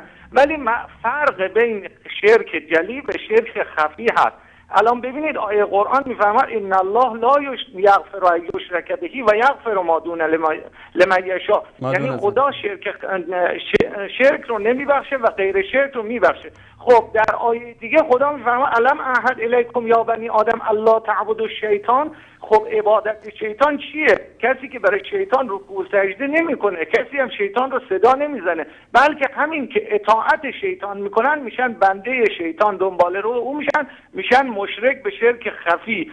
و خدا این رو اگر ما بخوایم بگیم هر گناهی که انسان کرد مشرک پس خدا لا یغفر یشرک به یعنی خدا هیچ گناهی رو نمیبخشه. لازمش اینه که ما و همینجور که در قرآن هم فرموده یعنی خدا شرک جلی رو نمیبخشه. یعنی اگر کسی آمد گفت امام رضا علی هبل لات منات اینها اله هستن اجعلنا من الرحمن آلهتا یعبدون. میگه از تمام پیامبران قبل از خودت بپرس که آیا ببین ما برای اینها الهی قرار دادیم که برای او عبادت کنن؟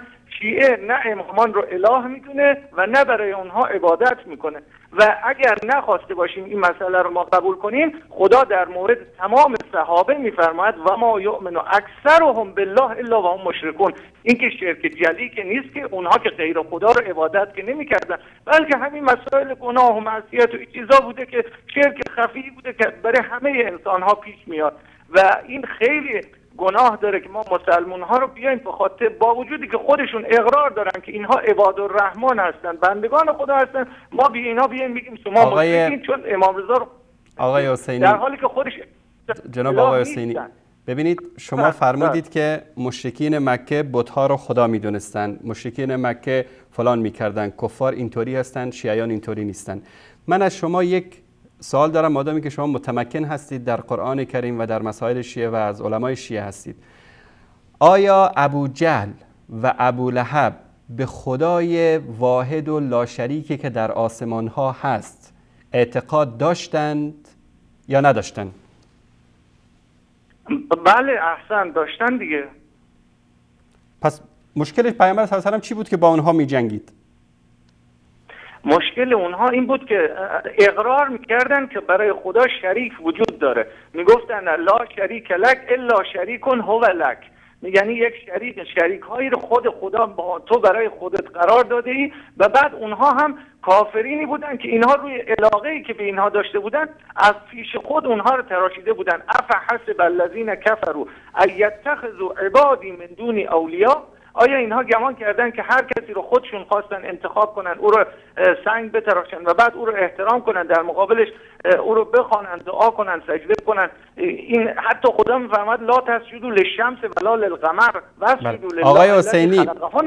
آقای حسینی شما جواب سوال من رو دقیق بدید. ببینید مشرکین مکه در سوره یونس آیه 31 الله سبحانه و تعالی از اونها می‌پرسه که قل ای محمد بگو به اونها من یرزقکم من السماء والارض. از آسمان و زمین کی به شما روزی میده؟ چی می‌گفتن؟ جوابشون چی بود؟ فیقولون الله فسیقولون الله. می‌گفتن الله. من یبدع الخلق ثم تعیده و من یرزقکم من السماء والارض. در سوره نمل آیه 64 می‌گفتن الله. در سوره فاطر آیه 3 باز دوباره آیه- مسئله رزق دقیق... یک لحظه اجازه از- بدید. دقیقا همین رزق و روزی رو ذکر می‌کنه که کی میده؟ می‌گفتن الله. در سوره ملک آیه 21 امن هذا الذي یرزقکم این امسک رزقه در اینجا چی... بله برادر عزیز و گرامی پس بعد از اون بعد از اون الله سبحانه و تعالی میگه که خب شما که همه این صفات رو به الله سبحانه و تعالی می‌دید الله سبحانه و تعالی رزق میده روزی میده فرزند میده هر چه دار و نداری که دارید از الله سبحانه و تعالی هست پس این بتها چی کاره هستن؟ جوابشون چی بود؟ گفتن و ما نعبدهم الا لیقربونا الی الله زلفا. ما اینها را پرستش نمی کنیم مگر اینکه ما را به الله نزدیک بکنن. دقیقا همون کاری که امروز شیعیان انجام میدن میرن پیش قبر امام رضا. البته عده‌ای از شیعیان عده‌ای از شیعیان اعمالشون از اعمال ابو جهل و ابو لهب و مشرکین زمان پیامبر هم بدتر است مثل دانشمند که میگه که مستقیما از امام زمان از امام رضا می‌خوایم مثل بعضی از خب آخوندهای اخباری شما فرقه اخباری شما اعتقاد دارن که ائمه خودشون رزق میدن روزی میدن مرگ مردن همه چیز دست اوناست و کلیپاشون هم ما بارها پخش کردیم. عده دیگه کالا وضعشون نسبتا بهتره چیکار می‌کنن؟ میگن که ما این امام رضا رو ما این امام رضا رو واسطه و وسیله بین خودمون و بین الله سبحانه و تعالی قرار دادیم و ما چیکار می‌کنیم؟ میگیم که ما رو نداریم پیش الله. ما نمی‌تونیم از الله مستقیما بخوایم به خاطر گناهانی که انجام دادیم. ما این امام رضا رو واسطه بین خودمون و خدا قرار دادیم وسیله قرار دادیم و به وسیله امام رضا از الله سبحانه و تعالی می‌خوایم. همین مسئله رو هم الله سبحانه و تعالی در سوره فاطر خیلی واضح میگه که یعلج اللیل فی النهار و یعلج النهار فی اللیل و سخر الشمس والقمر کل یجری لاجل مسمى. چرا این آیات ذکر می‌کنه این کلمات رو؟ میگه که شب را در روز در میآورد روز را در شب در میآورد و آفتاب و محتاب رو همه چیز رو در اختیار خود قرار داده است و همه چیز به طرفی در حرکت هستند تا وقت معینی که دارن ذالکم الله ربکم. این الله است پروردگار شما. میگه این الله پروردگار شماست. این همه اختیارات رو داره. له الملک. میگه ملک و پادشاهی از آن اوست. چند لحظه پیشتر ما کلیپ پخش کردیم که آخون می‌گفت که این ملک و پادشاهی زمین و آسمان دست ائمه است. والذین تدعون. یک لحظه این آیه رو من تکمیل بکنم بعد خدمت شما هستم. والذین تدعون من دونه و کسانی را که پایین تر از الله غیر از الله بجز الله می پرستید یا می خانید یدعون نگفته که پرستش می‌کنید یدعون از اون می‌خواهید. چه می‌خواهید؟ رزق می‌خواهید روزی می‌خواهید فرزند می‌خواهید هر چی می‌خواهید. والذین تدعون من دونه کسانی که غیر از الله می‌خوانید ما یملکون من قطمیر. مالک پوست نازک خسته خرما هم نیستن. این هسته خرما پوست نازک روش داره. الله سبحانه و تعالی میگه من دون الله یعنی غیر از الله. از پیامبر بگیرید تا امام زمان. هر کی کی هست تا کوچکترین ذره ای که در کائنات وجود داره. اینا مالک پوست نازک هسته خرما هم نیستن. حالا شاید شما بیاد بگید که خب اینجا. یک لحظه آقای حسینی در اینجا شاید بگید که بگید که شاید منظور این آیه بتهایی است که مشرکین میپرستیدن و این بتها صدا رو نمیشنیدن. امامان ما که میشنوند الله سبحانه و تعالی جواب این سوال شما رو هم در آیه بعدی میگه. ان تدعوهم لا یسمعوا دعاءکم اگر اینها رو بخوانید در حقیقت اینها دعای شما رو نمیشنوند ولو سمعوا. اگر شنیدند یا اگر بشنوند مستجاب لکم. شما رو نمی‌تونن که جواب شما رو بدن چرا که الله میگه که ادعونی استجب لکم. مرا بخوانید تا شما را اجابت بکنم. این قدرت خاصه الله سبحانه و تعالی است که ندای همه رو میشنوه. اگر اونها رو بشنوید چه اونها رو بخوانید چه شما را بشنوند چه نشنوند نمی‌تونن که مستجاب لکم نمی‌تونن جواب بدن. و یوم القیامتی و یوم القیامتی. یوم القیامتی یا یکفرون به شرککم. یعنی این بتها روز قیامت میان شرک شما را انکار می‌کنند. هم بتها و هم انسانها و هم امامان و ائمه و پیرها و بزرگانی که به غیر از الله پرستش شدن به غیر از الله خواسته شدن اینها در روز قیامت کفر میورزن انکار می‌کنن این شرکی که شما انجام دادید. بفرمایید الان من خب در اگر ما ما اگر امام رضا رو شریک خدا دونستیم یعنی وقتی گفتیم که امام رضا منو شفا داده این میشه انسان مشرک. چون حق نداریم. اگر برفرض هم دکتری ما رو معالجه کرد ما حق نداریم بگید امام رضا یا دکتر ما رو شفا داده یا معالجه کرده یا آقای انصاری به من پول داده. باید بگیم خدا عنایت کرد. این انسان موحد همه کارها رو نسبت به خدا میده. شما ببینید در جنگ بدر آقا امیرالمؤمنین 35 نفر از بزرگ بله. با عرض معذرت تماس ایشون قطع شد. دوستان عزیز اگر که ایشون دوباره تماس گرفتن به من اطلاع بدید که رو کدوم خط هستن که باید حرفشون رو تکمیل بکنن. امیدواریم که بتونن آقای حسینی دوباره زنگ بزنن. بله سلام علیکم بفرمایید. سلام علیکم. علیکم سلام. علیکم سلام و رحمت الله آقای انصاری. بله بفرمایید. بیننده گرامی لطفا صدای تلویزیونتون رو ببندید. من حسن هستم از تاجیکستان. آقا حسن گرامی از تاجیکستان. بفرمایید برادر عزیز. خسته نباشید آقای انصاری. سلامت باشید. بفرمایید. از برنامه خوبتون تشکر می‌کنم و از این دومن سیروزدین که مولای عالمی مشهور تاجیکستان از پخش کردید کلیپش رو. خوشحال هستیم. سلامت باشید. تشکر از شما. بفرمایید آقا حسن صدا شما داره پخش میشه بفرمایید. یک سوالی داشتم آقای انصاری فکر کنم مربوط به موضوع برنامه نیست اما ضرور است. بفرمایید. یک دوست دارم نامش اه، اسمش رو می‌خواهد عوض کند اشکالی ندارد. خمیری خمینی خمینی. خمینی. صد درصد باید اسمش عوض بکنه شیخ. انسان نباید مشابهتی با کفار و با منافقین داشته باشد. پیامبر صلی الله علیه و سلم میفرمایند که من تشبه به قوم فهو منهم. کسی که مشابهت بکنه چه در اسم چه در لباس چه در گفتار چه در کردار با یک قومی از جمله اونها مشهور میشه. آیا این دوست شما دوست داره که در روز قیامت در کنار زندیق خمینی محشور بشه؟ طبعا هیچ بله مسلمان دوست جناب نداره. آقای انصاری ما دو ساله شبکه شما رو تماشا می‌کنیم. این دوست که ما هم اه، همراه هر شب میآید نزد ما با ما تماشا می‌کنند و الحمدلله. دوی من به اون کس می‌گویم که این خمینی یک خونخوار است و به همین خاطر تصمیم گرفته است که ایواز کند ولی خواست که معنی همین خمینی رو بفهمد که معنی است چیست. خمینی یکی از شهرهایی است در ایران به نام خمین. در زمانی که آخوندها در نجف درس میخوندن هر آخوندی که در اونجا درس می‌خوند اونو منصوب به شهر خودش می‌دونستن. مثلا خمینی منصوب به خمینی شهر سیستانی از سیستان. مثلا رفسنجانی از شهر رفسنجان. گلپایگانی از شهر گلپایگان. اینها منصوب به شهرهایی هستند مثلا مثلی که شما به طور مثال از شهر خجند باشید در تاجیکستان ما بگیم که آقای مثلا حسن خجندی بله بله بله. تشکر از شما. من دوستم رو می‌گویم که چهار تا گوسفند ضبط کند و نامش رو ایواز کند بسیار خوب. یکی کافی است برادر عزیز و گرامی. آقای انصاری ما شما را بسیار دوست میداریم. هر روز برنامه شما به شبکه وصال حق ما سلامت باشید. تشکر از شما. تماس برادر عزیزمون قطع شد. من فقط برای این برادر عزیزمون که اسمشو خمینی گذاشته بوده می‌خواد عوض بکنه فقط یک صفحه از کتاب رو دوستان اگر نشون بدن. این کتاب الطهاره است جلد سوم تعریف خمینی.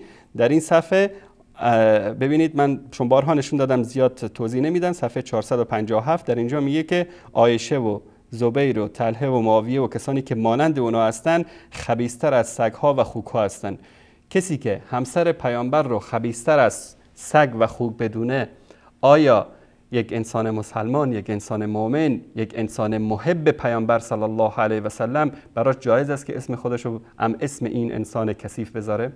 در روز قیامت چطور به چهره مبارک پیامبر صلی الله علیه و آله و سلم نگاه خواهید کرد که ام المؤمنین عایشه صدیقه محبوبه پیامبر صلی الله علیه و آله و سلم بودند و این شخص به همسر این پیامبر بزرگوار ما به طاهره صدیقه ام المؤمنین عایشه رضی الله تعالی عنها میگه که خبیستر از سگها و خوکها هستند بله سلام علیکم بفرمایید. سلام علیکم. علیکم السلام و رحمت الله وصال شبکه وصال حق بفرمایید. الو. الو. بفرمایید بیننده گرامی صدا شما داره پخش میشه. ببخشید حالتون خوبه؟ سلامت باشید برادر عزیز. زنده باشه قربان شما. ما می‌خواستیم که ازتون تشکر بکنیم. تشکر از شما برادر عزیز بزرگوارید. سلام علیکم.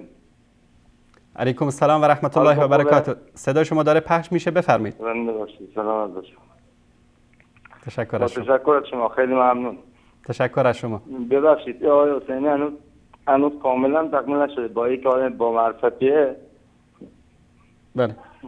ولی کاملا با داره صحبت می‌کنه همه چیز میگه ولی کاملا قرآن رو درک نکرده. درست. درست. متوجه کامل کاملا قرآن نشده. درست. امیدواریم که الله سبحانه و تعالی ایشون هم هدایت بده مثل بقیه کسانی که راه توحید و یکتاپرستی رو در پیش گرفتن. خیلی ممنون. بگو ده- بیشتر دقت کنید. بله. تشکر از شما برادر عزیز. بله. الله مطالب ستون کنه. تشکر از شما خیلی ممنون خدا. اجازه با خداحافظ تشکر از شما. شما خداحافظ بله سلام علیکم بفرمایید خسته نباشید شبکه مثال حق شبکه وصال حق لطفا خودتون رو معرفی کنید از کجا زنگ می‌زنید من اهورا هستم از کرج آقای انصاری شمایی انصاری هستم بفرمایید بله الان شبکتون داره پخش میشه پس چرا صدای من نیست صدای ما رو از طریق گوشی تلفن بشنوید چون صدا با چند ثانیه تاخیر پخش میشه. حدود سه بله. ثانیه تاخیر. آقای انصاری من یه جوان 24 ساله هستم. یه چند تا نکته خیلی دوست داشتم از شبکتون بشنوم. متاسفانه نشد که بشنوم حقیقتش. درست. به این خاطر زنگ زدم این چند تا نکته رو بگم. یکیش این که مذهب شیعه به اعتقاد ما جوانای ایران فقط برای جدا شدن ایرانی از عرب بود. ولا غیر یعنی تفکری که پشتشه تفکری نیست که بخواد خیلی جامعه باشه مثل قرآن خیلی بست داشته باشه. نه. یه تفکری بود که برای جدایی ایران از عرب بود. عجم از عرب. و آینهایی مثل آشورا و مثل محرم از آینهایی مثل سیاوش و سوشیانس گرفته شده. که الان تو باکو تقریبا اجرا میشه. که آوردن برای محرم اجراش کردن. یعنی آین محرم عزاداری که ده روز می‌کنن تو هیچ جای دیگه اسلام نیست. بخشید من صدا میلرزه چون خیلی عصبی هم. هیچ جای اسلام دیگه نیست. خب فقط مال ما ایرانی های متحجره که تصویدیم به یه سری خرافه. چرا خرافه؟ چون تمام متفکرین تمام کسایی که دانشمند بودن از لحاظ علمی ایران رو رها کردن. رها کردن دست یه سری آدم که فقط به فکر منافع خودشونن اسلام دین اسلام و هر چیزی که هست رو خراب کردن فقط به خاطر مالندوزی. ببینید من جوون ایرانی که متاسفانه شیعه از اسلام هیچی نمی‌دونم و اسم خودم مسلمون نمی‌دادم. حتی اینو من باید جرأت بگم 98 درصد جوانای ایرانی بیدینند. می‌دونید چرا؟ چون از اسلام چیزی نمی‌دونن یه سری خرافه می‌دونن یه سری هم چیزایی که پدر در پدر نستن از گشته. شما هر کسی که زنگ می‌زنه از ایران بپرسید آیا قرآن رو یک بار خونده یا نه. کسی که یک مذهب رو می‌خواد فکر کنه راجع به یک مذهب من خودم انجیل رو خوندم اما قرآن رو نخوندم. می‌دونی چرا؟ چون اجبار شده بهم. به چون به زور گفتن بخون باید بخونی. این واقعا عصبی می‌کنه منو. چرا؟ چون خیلی کسا میان اسلامو خراب می‌کنن تو جمعای خودمون تو مجلس خودمون به خاطر چی؟ به خاطر که از آخوند بدشون میاد. از آخوند متنفرن. این واقعا عصبی کننده است. چرا اسلامی که هیچی ازش نمی‌دونیم هیچی ازش نمی‌دونیم باعث بشه که چند نفر بیان راجبش بد بگن؟ در صورتی که اسلام تا اونجایی که من از حرفای شما فهمیدم تا اونجایی که خودم ای یه ذره خوندم مطالعه داشتم سواد و علمم تونسته به اونجا بکشه این بوده که دین خیلی قشنگیه. دینیه که تعادل داره دینیه که نه افراد داره نه تفرید. ولی چیزی که به ما آموزش شدن اینه که بزنید تو سر خودتون. فقط گریه کنید. اسلام دین گریه است. من واقعا دارم سواله. واقعا اسلام دین گریه است. دینیه که ما دوازده ماه سال به خاطرش گریه کنیم. یه نصیحت برادرانه به عنوان برادر کوچیکتون دارم. اگر می‌خواید به ما کمک کنید مذهب شیعه رو انقدر نزنید. ما هممون بهتر از شما می‌دونیم شیعه چیه. چون توش داریم زندگی می‌کنیم اونم به اجبار. به اجبار یارو برگشته میگه جای زنی که بشینه بعد مرد بره سر اون جایی که زن نشسته معذرت می‌خوام. ببخشید عذر می‌خوام. باسن زن اونجا بوده. بلند شده الان جای اون باسن گرمه من برم بشینم قولم روشن. شما جای من عصبی نمیشی؟ میشی دیگه قرونت برم. پس تو اینکه بخوای وقت عزیز تو صرف کنی که تشیع خراب کنی به جای اون کار بیا بشین اسلام رو توضیح بده برای من قرآن رو توضیح بده. با به خدا من الان یک سال و نیمه دارم میگردم که یه قرآنی پیدا کنم که ترجمهش اصلش باشه نیست. یه کسی رو پیدا کنم که تفسیراتی که تو مغز خودش از قرآن نگه. اون چیزی که هست رو من بگه. برادر عزیز. دیگه هم دارم از جنگ هایی مثل جمل مثل احد مثل بدر و زندگی و روایات پیغمبر اون چیزی که هست رو تعریف کنید نه اون چیزی که آخوندا میگن. اون چیزی که هست بذارید ما با واقعیت آشنا بشیم. بعد قضاوتش با ما که آیا درست میگه یا خیر خیلی از جوانای ایرانی که من سفارش می‌کنم شما رو گوشم ببخشید تو خدا وقتتونم دارم می‌گیرم. ولی خیلی وقت می‌خوام بهتون زنگ بزنم. اون جوانای ایران همشون من خیلی ها رو میگم شبکه شما رو نگاه کنن. فقط به خاطر اینکه با اصل اسلام آشنا بشن. شما نمی‌دونید که اسلام چقدر مظلومانه تو ایران داره خراب میشه. چقدر مظلومانه قرآن کریم بهش نعوذ بالله توحید میشه. چقدر مظلومانه الله خیلی فجیعه خیلی فجیعه. چون ما اصلا از اسلام چیزی نمی‌دونیم. ممنونم از, از تلویزیون گوش میدم. ممنون. مرسی. خدا نگهدار. تشکر از شما. خدا نگهدارتون. واقعا یعنی صحبت های شما برادر عزیز گرامی انسان رو ناراحت می‌کنه.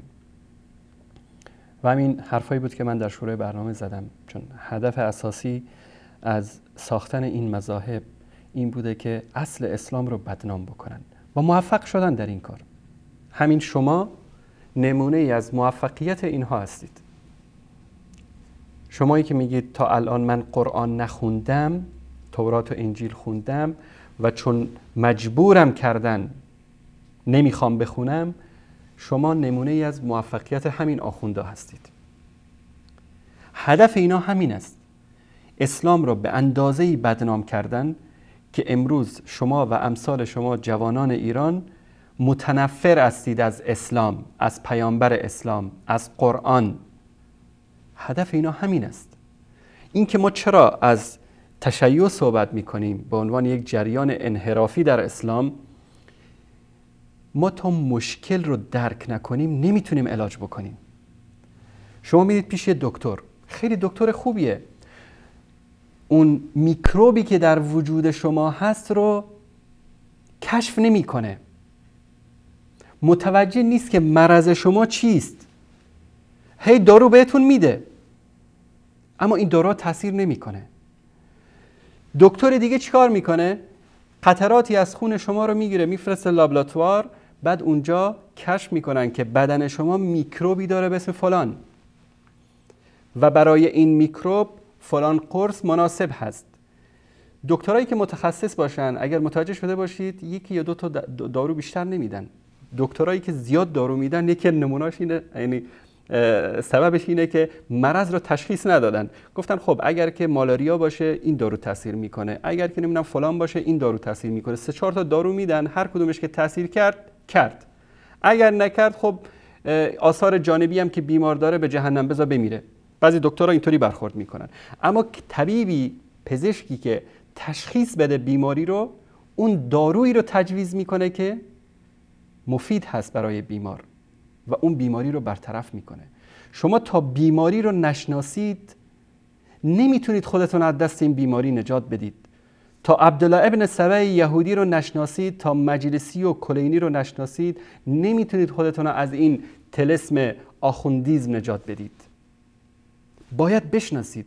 من خیلی از دوستان اتی باشون صحبت می‌کنم میگن که ما می‌خوایم مثلا در مورد اهل سنت بیشتر اطلاع پیدا بکنیم. من بهشون میگم شما در مورد مذهب خودتون اول اطلاع پیدا بکنید. کافی است یک شیعه بره همین کلینی رو بخونه کافی رو بخونه. از از اسلام و تشیع و دین و اهل بیت و پیامبر از همه چیز بیزار میشه. پنهان می‌کنن از شما. حقایق رو بهتون نشون نمیدن. جرأت دارن مردانگی دارن حصل کتب خمینی رو بیان ترجمه کنن در اختیار مردم قرار بدن؟ آیا مردم از خمینی و انقلاب خمینی متنفر میشن یا نمیشن؟ چرا امروز در صدا و سیما در رسانه ها گزینشی پخش می‌کنن سخنرانی های خمینی رو؟ هرچی که گفته پخش نمی‌کنن. هزاران ساعت سخنرانی داره چرا همه رو پخش نمی‌کنن؟ چون می‌دونن که چی گفته در این سخنرانی ها آبروی خودشم برده آبروی مذهبم برده آبروی نظامم برده. شما هر وقت که اصل دینتون رو شناختید و این مذهبی که به شما تحمیل شده رو شناختید بعد از اون باید به سراغ دارو برید. دارو چی است؟ قرآن. داروی بیماری شما و امثال شما جوانانی که گرفتار این بیماری ها هستن قرآن است. شما الان میگید که به خاطر عرب و قضیه عرب و عجم مردم رفتن به طرف تشیع من به نظر من این اشتباهی است که یعنی متاسفانه خیلی گرفتارش هستن. ما تا قبل از 500 600 سال قبل که ایران به دست صفویزم نیفتاده بود به دست شاه اسماعیل صفوی نیفتاده بود به دست آخوندهای جبل عامل لبنان نیفتاده بود به دست مجلسی که یکی از آخوندهای دربار صفویت بود و این 110 جلد دایره المعارف خرافات شیعه را نوشته نیفتاده بود ایران یک کشور سنی بود. ایران در اون زمان سرزمین فارس بهش می‌گفتن. همه فارسی زبان بودن اکثریت فارسی زبان بودن. همین ایران در اون زمان قبل از صفویت مسلم نیشاپوری صاحب کتاب صحیح مسلم ابن ماجه قزوینی صاحب سنن ابن ماجه اصفهانی امام بخاری و ابو ریحان بیرونی و هزاران نفر صدها هزار نفر از علما در مجالات مختلف زکریای رازی و یعنی اگر من بخوام تا صبح فقط اسم و سال تولد علمای فارسی زبان یا از سرزمین فارس رو برای شما بیان بکنم هنوزم این وقت کفایت نخواهد کرد. در زمانی که ایران اسلام ناب محمدی و اسلام خالص و اسلام حقیقی رو میشناخت. امثال این علما به جامعه تحویل داد به جهان تحویل داد. امروز عرب ها افتخار می‌کنن به ابو داود سجستانی به نسعی به ابن ماجه قزوینی به مسلم نیشابوری به این علمایی که امروز علم حدیث پیامبر رو برای ما حفظ کردن. عرب و عجم بهشون افتخار می‌کنه. اما امروز سرزمین همین علمایی که یک زمانی افتخار برای اسلام بودن و تا امروز هم هستند جولانگه عده احمق و جاهل و زندیق و مشرک شده که مردم رو دارن از دین متنفر می‌کنن. از موقعی که اینها اومدن و مذهب رسمی ایران رو مذهب شیعه صفوی قرار دادند آنطوری که دکتر شریعتی هم اشاره می‌کنه در کتابهای خودش. بعد از اون به جای اینکه ملت ایران پله های پیشرفت و ترقی رو به پیمایت یعنی امروز در نزد جهان اسلام متنفرترین کشور کشور ایران است. از اسرائیل بدتر در بعضی از کشورها معامله میشه. تقصیر ملت شریف ایران نیست. تقصیر همین آخوندهایی است که این تصویر ذهنی زشت را از ایران در اذهان دیگران ایجاد کردن. شما رو به خدا این مقطعی که من نشون دادم کلیپی که نشون دادم که جمع شدن در اینجا یک آخوندی هم در وسطشون نشسته ابوبکر و عمر و عثمان رو لن می‌کنن. خب شما به نظر شما تصویر ذهنی مسلمانان جهان از شماها چه خواهد بود؟ از دینتون از مذهبتون از آخونداتون از علماتون از حکومتتون؟ پس تقصیر اسلام نیست. و اینکه شما دور ماندید از قرآن اینجا هم تقصیر اسلام نیست. شما برید امروز اینترنت مانند یک دهکده کوچیک همه جهان رو به هم نزدیک کرده. در همین سایت عقیده دوستان عزیز من این سایت رو باز می‌کنم که بینندگان عزیزمون با این سایت آشنا بشن. دوستان عزیز نشون بدید لطفا این سایت رو. شما فقط برید به این سایت www.aqideh.com و در بخش موضوعات قرآن. در بخش قرآن شما هر چه بخواهید هست تفسیر می‌خواهید اسباب نزول می‌خواهید ببینید تفسیر تابشی از قرآن ترجمه و تفسیر قرآن کریم جلد اول جلد دوم جلد سوم جلد چهارم. مؤلفش کیه؟ آیت الله العظما سید ابوالفضل ابن رضای برقی یکی از مراجع بزرگ قم همدوره خمینی که بعد از اینکه الله سبحانه و تعالی ایشون رو برای راست برای توحید و یکتاپرستی هدایت کرد خانه نشینش کردن توهین بهش کردن قصد ترورش رو کردن اهانت های فراوانی به ایشون شده. و در این در بخش تفسیر فقط ترجمه قرآن کریم ترجمه تابشی از قرآن ترجمه جدولی قرآن ترجمه شاولی الله دهلوی ترجمه معانی قرآن توسط محمد گل گمشاد زئی ترجمه معانی قرآن توسط مسعود انصاری. ببینید تفسیر تفاسیر مختلف تفسیر احسن الکلام تفسیر انوار القرآن جلدهای مختلفش تفسیر بزرگترین سوره قرآن تفسیر جلالین فارسی جلد اول دوم سوم ششم پنجم. ببینید تفسیر راستین ترجمه تیسیر کریم و رحمان ببینید ما در اینجا تفسیر معارف القرآن دوازده جلد هست تقریبا.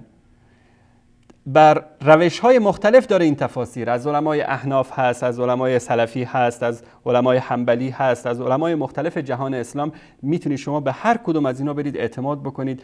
اما من بهترین تفسیری رو که در بین این تفاسیر دیدم ام از نگاه ادبیات فارسی تفسیر انوار القرآن است که نوشته استاد عبدالرؤوف مخلص رئیس دانشکده الهیات دانشگاه هرات سابق. ایشون بهترین تفسیر رو در این باب نوشتن. مختصری از چند تفسیر است. در شش جلد می‌تونید از این تفاسیر استفاده بکنید. هر کدوم از شما عزیزان ایمیل بفرستید به ایمیل book at حق TV دوستان این ایمیل رو زیرنویس خواهند کرد. هر کدوم از این تفاسیر رو بخواید ما براتون میفرستیم. چون این سایت طبعا در ایران فیلتر شده و این آخوندا نمی‌ذارن که شما به حقایق پی ببرید. همه این سایت ها رو فیلتر کردن. حتی همکاری با این سایت ها جرمه. چه بسیارن کسانی که به خاطر همکاری با این سایت ها امروز در گوشه های زندان افتادن. چون نمی‌خوان مردم بیدار بشن. چون هر وقت که جوانهای ایران بیدار شدن اون غل و زنجیری رو که آخوندا به گردنشون انداختن میندازن دور. من یک کلیپ دیگه هم داریم در اینجا که می‌خوام خدمتون پخش بکنم و بعد از اون انشاءالله تماسای شما بزرگواران را خواهیم گرفت. کلیپ 611 در روز قیامت علی ابن ابی طالب پروردگار ماست. علیه بالله. این سخنی است که یکی از آخوندا می‌زنه. با همین کلیپ رو می‌بینیم و بعد از اون انشاءالله با شما ایزانم را خواهیم بود. در روز قیامت علی ابن ابی طالب پروردگار ماست.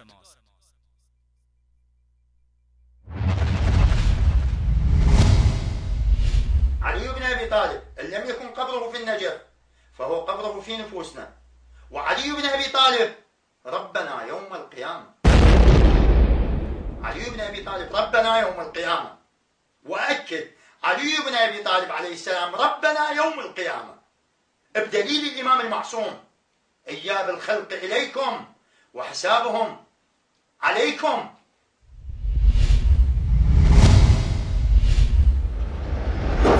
این آخوند به صراحت می‌گوید که علی پروردگار ما در روز قیامت است و دلیلش هم جملاتی از زیارت جامع کبیره در کتاب مفاتیح الجنان می باشد. به نص این دعا توجه فرمایید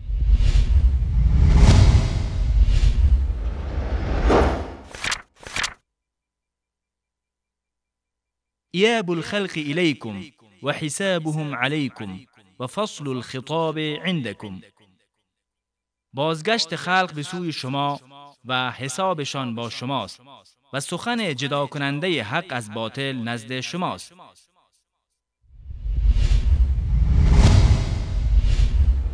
هذا دليلنا علي بن أبي طالب يوم القيامة يكون رب من الأرباب ويحاسب شيعته. وأنتم المخالفين. لعلي بن أبي طالب وأتباع علي بن أبي طالب. إن شاء الله يوم القيامة في قبضة علي بن أبي طالب. ويريكم نار جهنم. وبئس المصير إن شاء الله. وإن شاء الله يدخل شيعته شيعته في الجنة ويدخلكم في النار.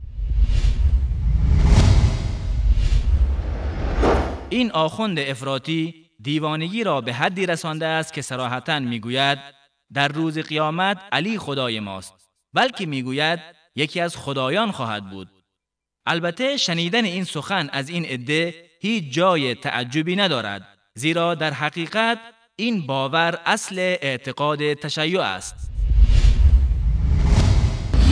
خدا چارده تا خدا مثل خودش خلق کرده که مثل او هست. فقط یه فرق با خدا دارن. اونا خدا نیست. مخلوق خدان چون خدا خلقشون کرده. و الا حسین ابن علی یعنی علم خدا. یعنی حسین و علم.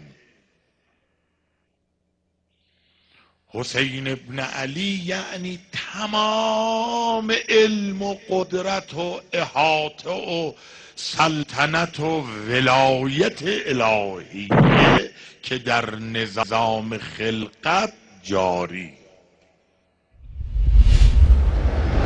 وعلي بن ابي طالب ربنا يوم القيامه علي بن ابي طالب ربنا يوم القيامه واكد علي بن ابي طالب عليه السلام ربنا يوم القيامه روز قیامت به آنان گفته می شود اینک همانند نخستین بار که شما را آفریدیم تک و تنها نزدمان آمدید و آنچه را به شما بخشیده بودیم پشت سرتان نهادید و شفاعت کنندگان و میانجیگرانی را با شما نمی بینیم که ادعا می کردید شریک الله هستند. تمام پیوندهایی که در میانتان وجود داشت از هم گسست و آنچه را ادعا می کردید از دست شما رفته است. من از خود ابوالفضل می‌خوام که مریضی مرا شفا بده. من از خود حضرت ابوالفضل علیه السلام می‌خوام که من پول بده مال دنیا بده. زندگی من برکت بده طول عمر بده. از خودش هم می‌خوام. عطا اینها عین عطای خدا هست. چه از اینها بخوایی چه از خود خدا چارده تا خدا مثل خودش خلق کرده که مثل او هست. فقط یه فرق با خدا دارن. اونا خدا نیست مخلوق خدان چون خدا خلقشون کرده.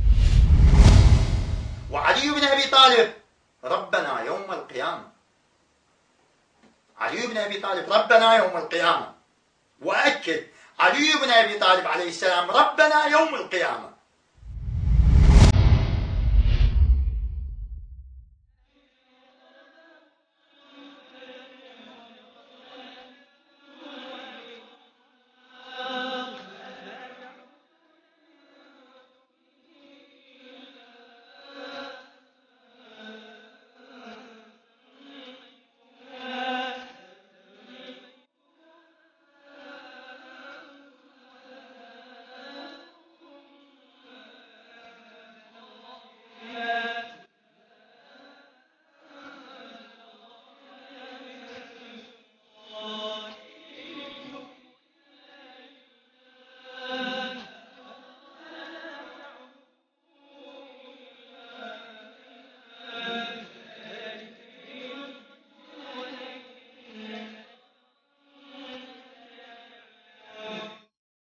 آیا معبودان گوناگون بهترند یا الله یکتا و چیره؟ شما به جای پروردگار تنها نامهایی را می پرستید که خودتان و پدرانتان نامگذاری کرده اید و الله هیچ دلیلی بر درستی آنها نازل نکرده است. فرمان روایی تنها از آن الله است. دستور داده که جز او را عبادت و پرستش نکنید. این است دین راست و استوار. ولی بیشتر مردم نمی‌دانند.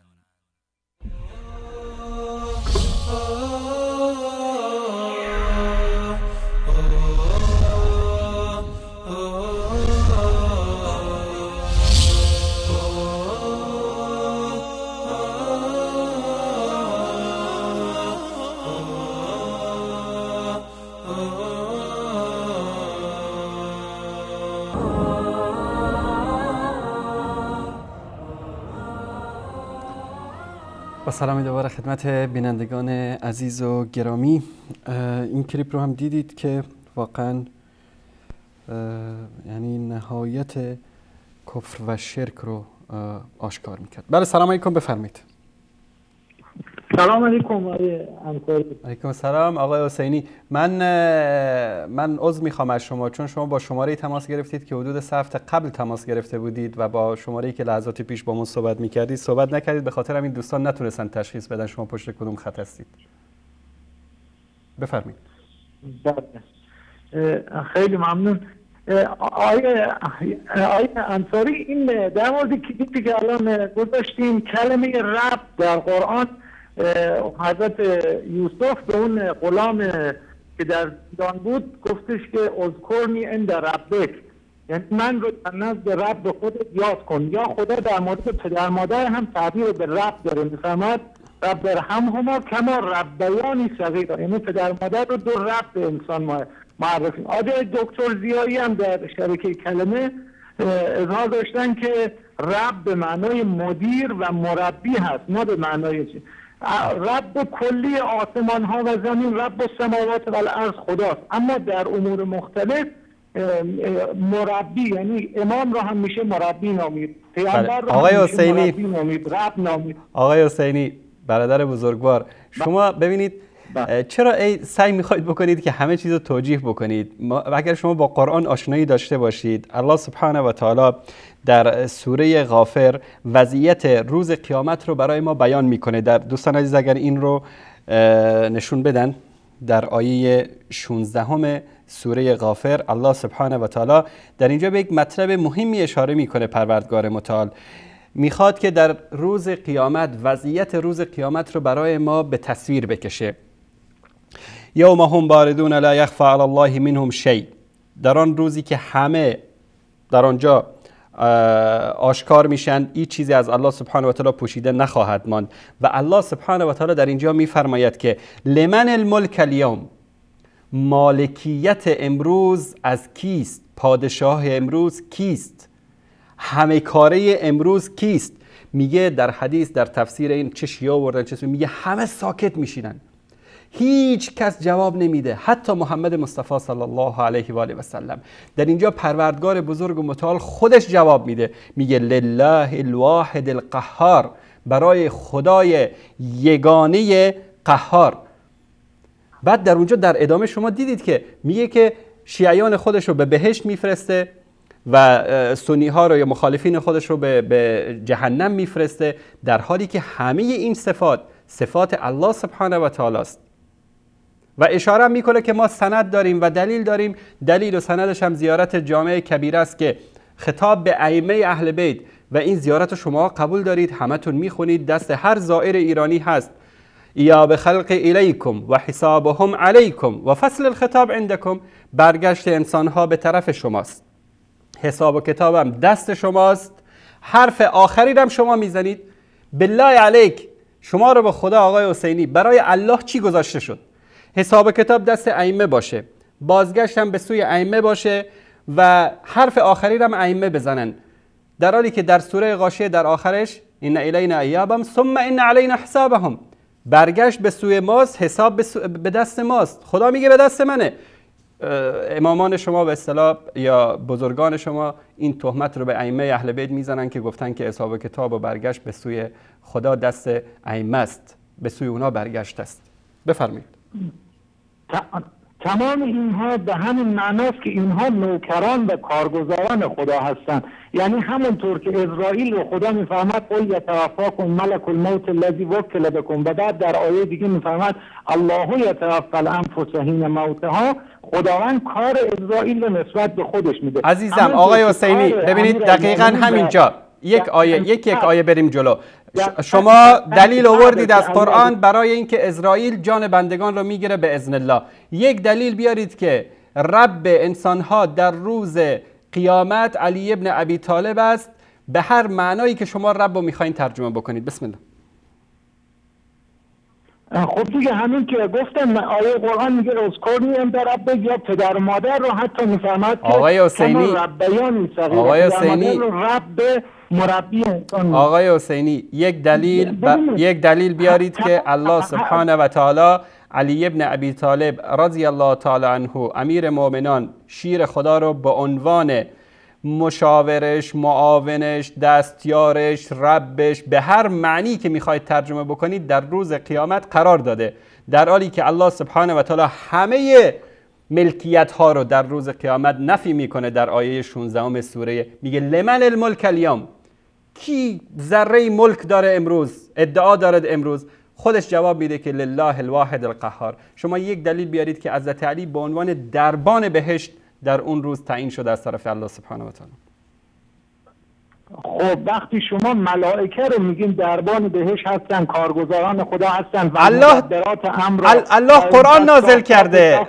الله قرآن نازل کرده آقای خب. حسینی و آیات شما به سر چشم قبول داریم. ببینید همین گاو پرستی و گوساله پرستی بنی اسرائیل رو که الله سبحانه و تعالی به سببش قوم موسی علیه السلام رو گرفتار عذاب کرد. بعد از این گوساله ای رو الله سبحانه و تعالی گفت بکشید پاره از این گوشش رو بزنید به بدن یک مرده در سوره بقره است که زنده بشه. الله سبحانه و تعالی گفت ما به سر و چشم قبول داریم. یک دلیل بیارید که الله سبحانه و تعالی جزی از اختیارات خود را در اختیار علی و ائمه اهل بیت قرار داده. بفرمایید. خداوند تمام اختیارات خودش رو در در اختیار وسایل قرار داده. این درش مشکلی نیست. حتی ما هم قادر دلیل. به کارهایی که خدا دلیل. میده که ما دلیل آقای حسینی. دلیل از قرآن. می‌تونیم راه بریم می‌تونیم حرف بزنیم. دلیل از قرآن. قرآن اینه که ان الینا یابهم اجازه بفرمایید چون چون صحبت قبلی هم من من می‌خواستم جواب اونا رو بگم تلفن قطع شد. اگر اجازه بفرمایید چون خدا متعال میفرمد ان الینا یا به هم نمیگه ان الیه یعنی خدا فردا قیامت. حساب بندگان خودش تنهایی می‌خواد بکشه یا نه با به وسیله اولیاء الله و به وسیله فرشته ملائکه دربانهای بهشت و جهنم. و بعد در اون مسئله قبلی هم که فرمودین این اگر بتها رو آقای آقای حسینی آقای حسینی شما آقای حسینی یک لحظه. هر جایی که هر جایی که شبهه بیان می‌کنید من همونجا باید قطعتون کنم جواب بدم. میگید که این الینا ایابهم برگشت به سوی ماست و چون در اینجا ما ذکر شده این اشاره به این است که تعدادی از انسانها و ملائکه و موجودات دیگری کنار الله هستند و به صورت جمع ذکر شده. اگر شما به زبان عربی جناب آقای حسینی آشنایی داشته باشید این در حالت تفخیم برای ذات اقدس الهی در قرآن کریم ذکر شده. این به این معنا نیست که کنار خدا خدایان دیگری هم وجود دارند که در با او شریک هستند. این دقیقا همون اعتقادی است که مسیحی ها در مورد عیسی علیه السلام دارند که عیسی پسر خداست روح القدس فرشته ای است که واسطه بین خدا و پسرش است یه خدای پدری با ریش سفید و بلند اون بالا نشسته دست راستش روح القدس دست چپش هم عیسی علیه السلام. میگه ما این کردیم ما این ما به شما روزی دادیم. این شما یعنی در باب جواب مخالف دیگه مرتکب بله. نحن نزلنا الذکر. الله سبحانه و تعالی وقتی میگه که ما قرآن را نازل کردیم یعنی منظور شما این است که مجموعی از خداهایی بودن که قرآن را نازل کردن. این اشاره به این مثل که ببینید حتی ولله مثل الاعلا وقتی پادشاه ها رئیس جمهورها شما خیلی راحت از حتی در ادبیات فارسی هم وجود داره. میگه که ما رضا شاه پهلوی شاهنشاه ایران امر کردیم. این حتی در ادبیات فارسی هم خیلی راحت استفاده میشه. وقتی من میگم من به شما میگم آقای حسینی شما بفرمایید. این شما گفتن من به شما یعنی منظورم که 6 تا آخوند دیگه در کنار شما نشستن این به عنوان احترام و ادب. یا من میگم ما گفتیم در مکان تفخیم و نشان دادن بزرگی و مکانت هست. خب الان آیه نمیگه که لا اله الا انا فعبدنی. اگر خدا خواست لا اله الا نحن شرک پیش می آمد برای بندگان گرفتاری می‌شد. آقای حسینی بالفرض محال بالفرض محال برادر عزیز بالفرض محال امین ادعای شما رو من قبول کردم. بالفرض محال امین ادعای شما را قبول کردم. الله سبحانه و تعالی گفته ما یعنی مجموعی از امامان و ملائکه و دم و دستگاه همه با هم. الله بالله من به خدا پناه می‌برم از این شرک. بالفرض محال قبول کردیم این حرف شما رو. یک جا بیایید که الله سبحانه و تعالی گفته که ما را بخوانید. گفته ادعونی من را بخوانید. نگفته ادعونا ما را بخوانید. ادعونی استجب لکم. فلا تدعو مع الله احدا. با الله هیچ کسی دیگر را نخوانید. در کجا گفته که ادعونا ما را بخوانید. یعنی من و علی و فاطمه و حسن و حسین و محمد صلی الله علیه و آله و سلم و غیره را بخوانید. در کجا گفته؟ یک آیه نشون بدید. هر جایی که ما را من کرده از شرک از غیر خدا را خواندن اینجا به صورت افراد ذکر شده. فلا تدعو مع الله فلا تدعو مع الله احدا. ادعونی استجب بله. لكم بله.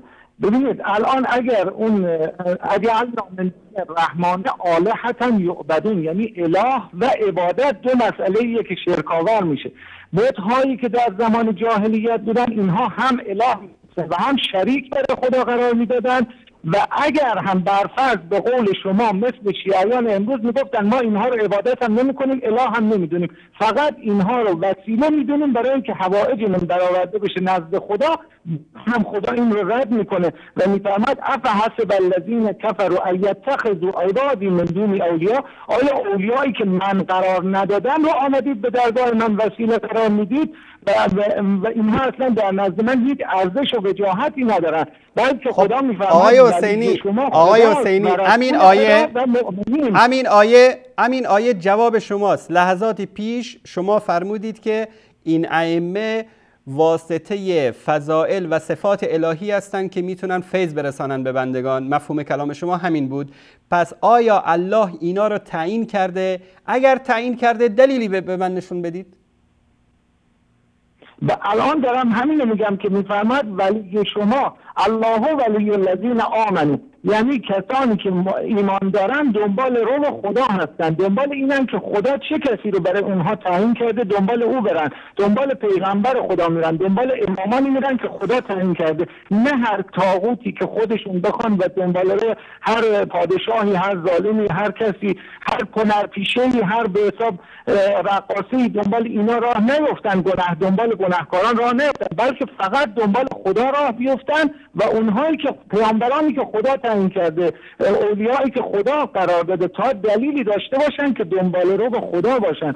و خدا می‌فهمد ولی شما اینها هستند امامان هستند مؤمنین هستند پیامبران هستند نه این کسانی که کافر بودن شما بت از اونها ساختید. تازه بدتر از اون آنها اینها رو شریک خدا می‌دونید و اینها رو اله می‌دونید. من تاکید می‌کنم ما شیعیان هیچ وقت امامان رو شریک خدا نمی‌دونن بلکه اینها رو نوکر و کارگزار خدا مثل ملائکه اگر زیاده روی در صحبت های آخوندها هم میشه ببینید الان خودش داره میگه که چهارده تا خدا مثل خودش خلق کرده. خب پس اونا که خدا خلق کرده که خدا نمیشن. مرد ناحسابی چرا بگو این حرف رو تو می‌زنی؟ اونها که خدا نمیشن میشن بنده خدا.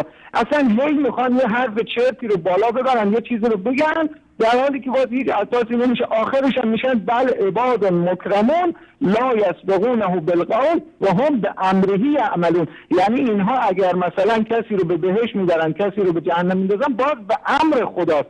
نخواسته خودشون. اینها مطیع امر خدا هستن. خدای متعال کارهای اینها رو هم بندگانش رو هم به خودش نسبت میده. میفرماید علی علیه السلام در جنگ بعد نکشته از کفار را فلم تقتلوهم ولکن الله قتلهم بلکه خدا اینها رو کشته. چون به امر ما بوده فعل خدا حساب کنید. نگید علی کشته نگید مثلا عمر کشته ابوبکر کشته برای که بگید خدا کشته و ما را نیت ای پیامبر تو تیر ننداختی. دست تو آقای حسینی برادر عزیز گرامی. شما میفرمایید که چون الله ولی الذین آمنو الله ولی کسانی است که ایمان آوردن. من خلاص حرف شما رو بگم. پس اینایی که ایمان آوردن و دنبال روی الله سبحانه و تعالی و مؤمنین هستن اینها رو ما باید همون صفات الهی رو به اونها بدیم و از اونها رو واسطه قرار بدیم و از اونها هم چیزایی بخوایم چون اونها اختیار دارن و به ولایت الله اعتقاد دارن. من قبل از اینکه به جواب شما بپردازم شما ای بت بت میگید که بت های مکه بت های مکه من دون الله هستن و غیر از اینا. ببینید آیا آتش پرستا که آتش رو میپرستن آتش من دون الله هست یا نیست؟ بله. کسانی که ستاره ها و محتاب و آفتاب رو میپرستن اینا من دون الله هستن یا نیستن؟ امامان و پیامبران هم من دون الله هستن. پیامبران هم من دون هر کسی که غیر از الله پرستش بشه از چیز از اون چیزی من دون الله چیزی خواسته بشه پس اینا همه من دون الله هستن. چه پیامبر باشه؟ تنها بت نیست پس. اینا ای شما اشاره می‌کنید ای بت های مشرکین بت های مشرکین منظور من دون الله فقط بت ها نیستن. ثانیا یک آیه هست آیه 196 سوره اعراف. از زبان یکی از کسانی که به الله سبحانه و تعالی ایمان آورده. من این آیه رو با هم میشنویم و کمی صحبت می‌کنیم در این مورد. ببینید این آیه یک لحظه.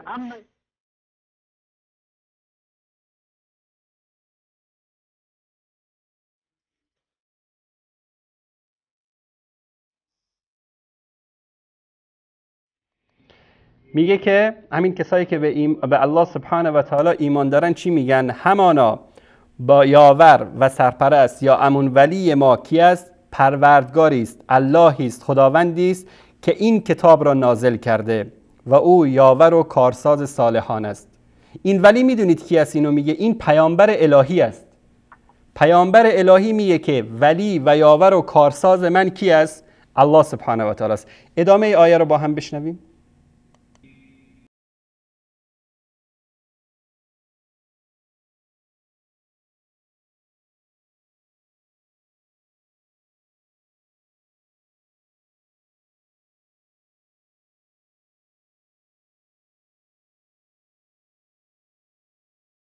و کسانی را که به جای او می‌خوانید غیر از الله می‌خوانید من دون الله می‌خوانید ولو اینکه پیامبر باشه هر کسی که باشه نمی‌توانند شما را یاری کنند و نه خودشان را یاری دهند.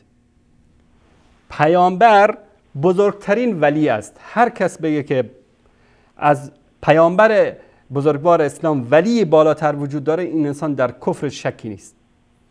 این پیامبر نمی‌تونه خودش رو یاری بده. مگر اینکه الله سبحانه و تعالی یاری بده. خب پس این در, در تضاد هست با اون فرموده شما. نه این تضاد نداره. گوش بدین شما.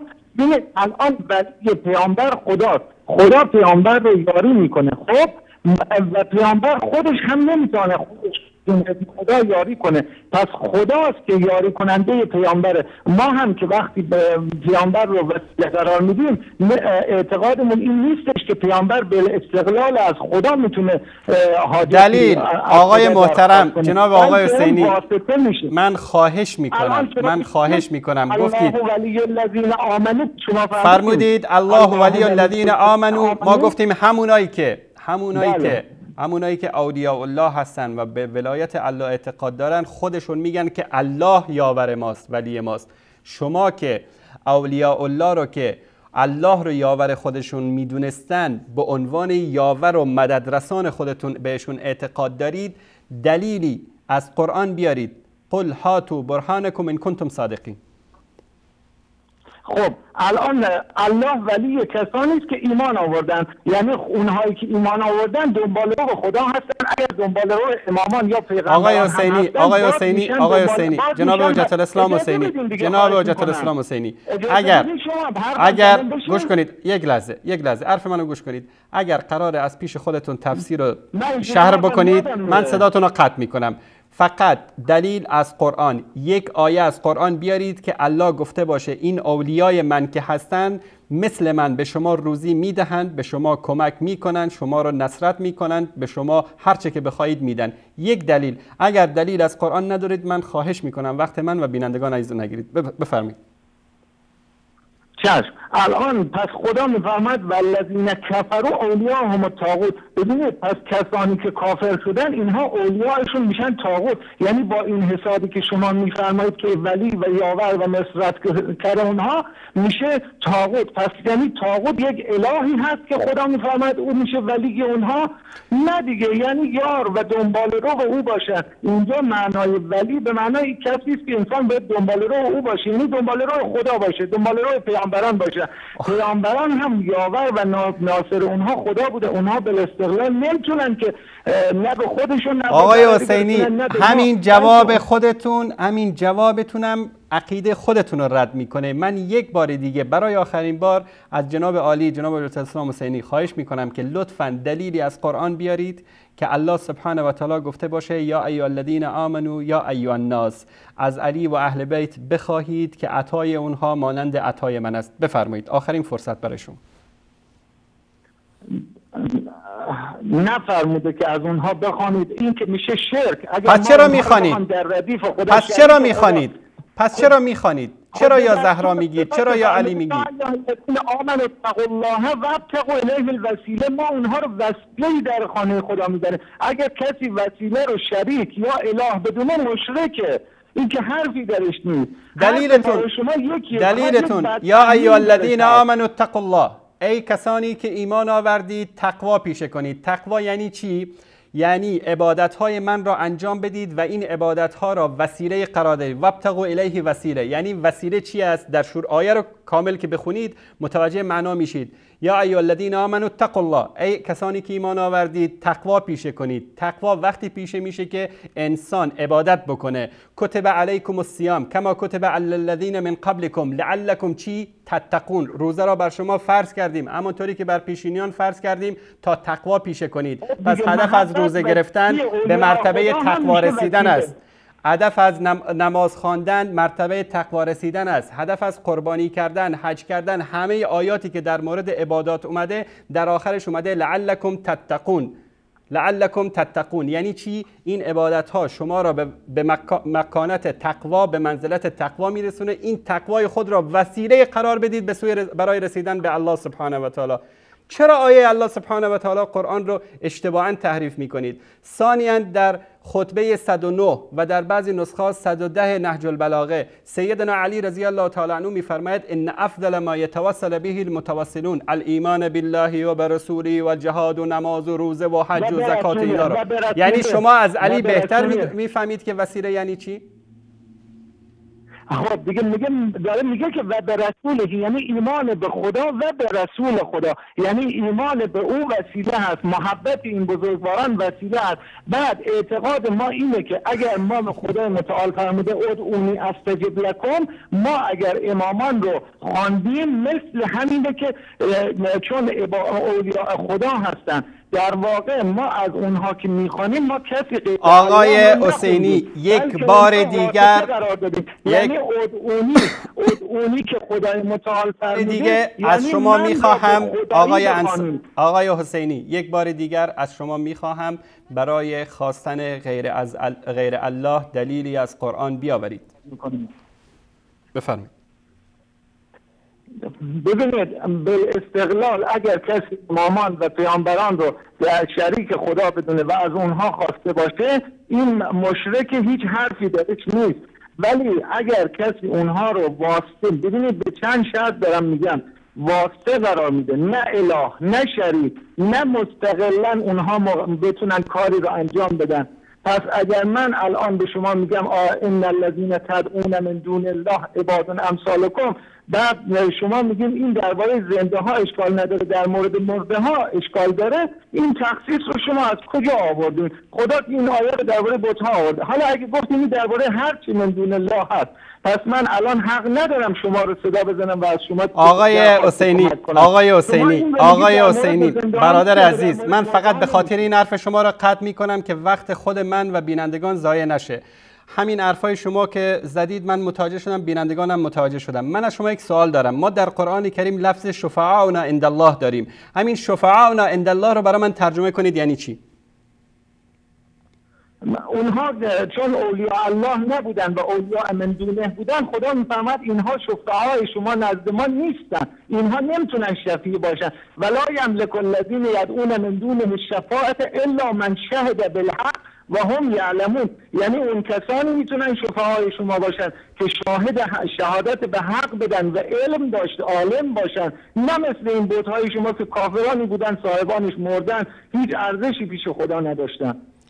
ببینید برادر عزیز گرامی من دوستان عزیز در اتاق فرمان فقط یک لحظه نشون بدن. این سوره یونس هست آیه 18 دقیقا همون حرفی که لحظات پیش شما زدید الله سبحانه و تعالی در این آیه رد می‌کنه. میگه و یعبدون من دون الله ما لا یضرهم ولا ینفعهم.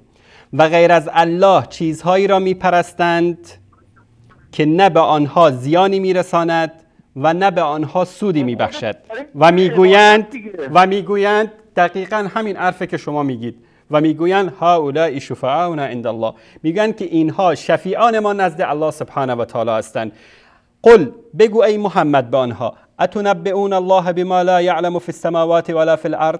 بگو آیا الله را به چیزی که در آسمان ها و زمین نمی‌داند خبر می‌دهید؟ یعنی الله سبحانه و تعالی وسیله و واسطه و شفیعی از میان این بشر برای خود قرار نداده است. شما از کجا اینا را به عنوان واسطه و شفیع خودتون بین خودتون و بین الله قرار داده اید و در آخر چی میگه? سبحانه و تعالی عما یشرکون. الله سبحانه و تعالی از آنچه که به او شرک میورزید پاک و برتر است. من آیه قرآن که نتونستید بیارید آقای حسینی یک یک روایت یک روایت.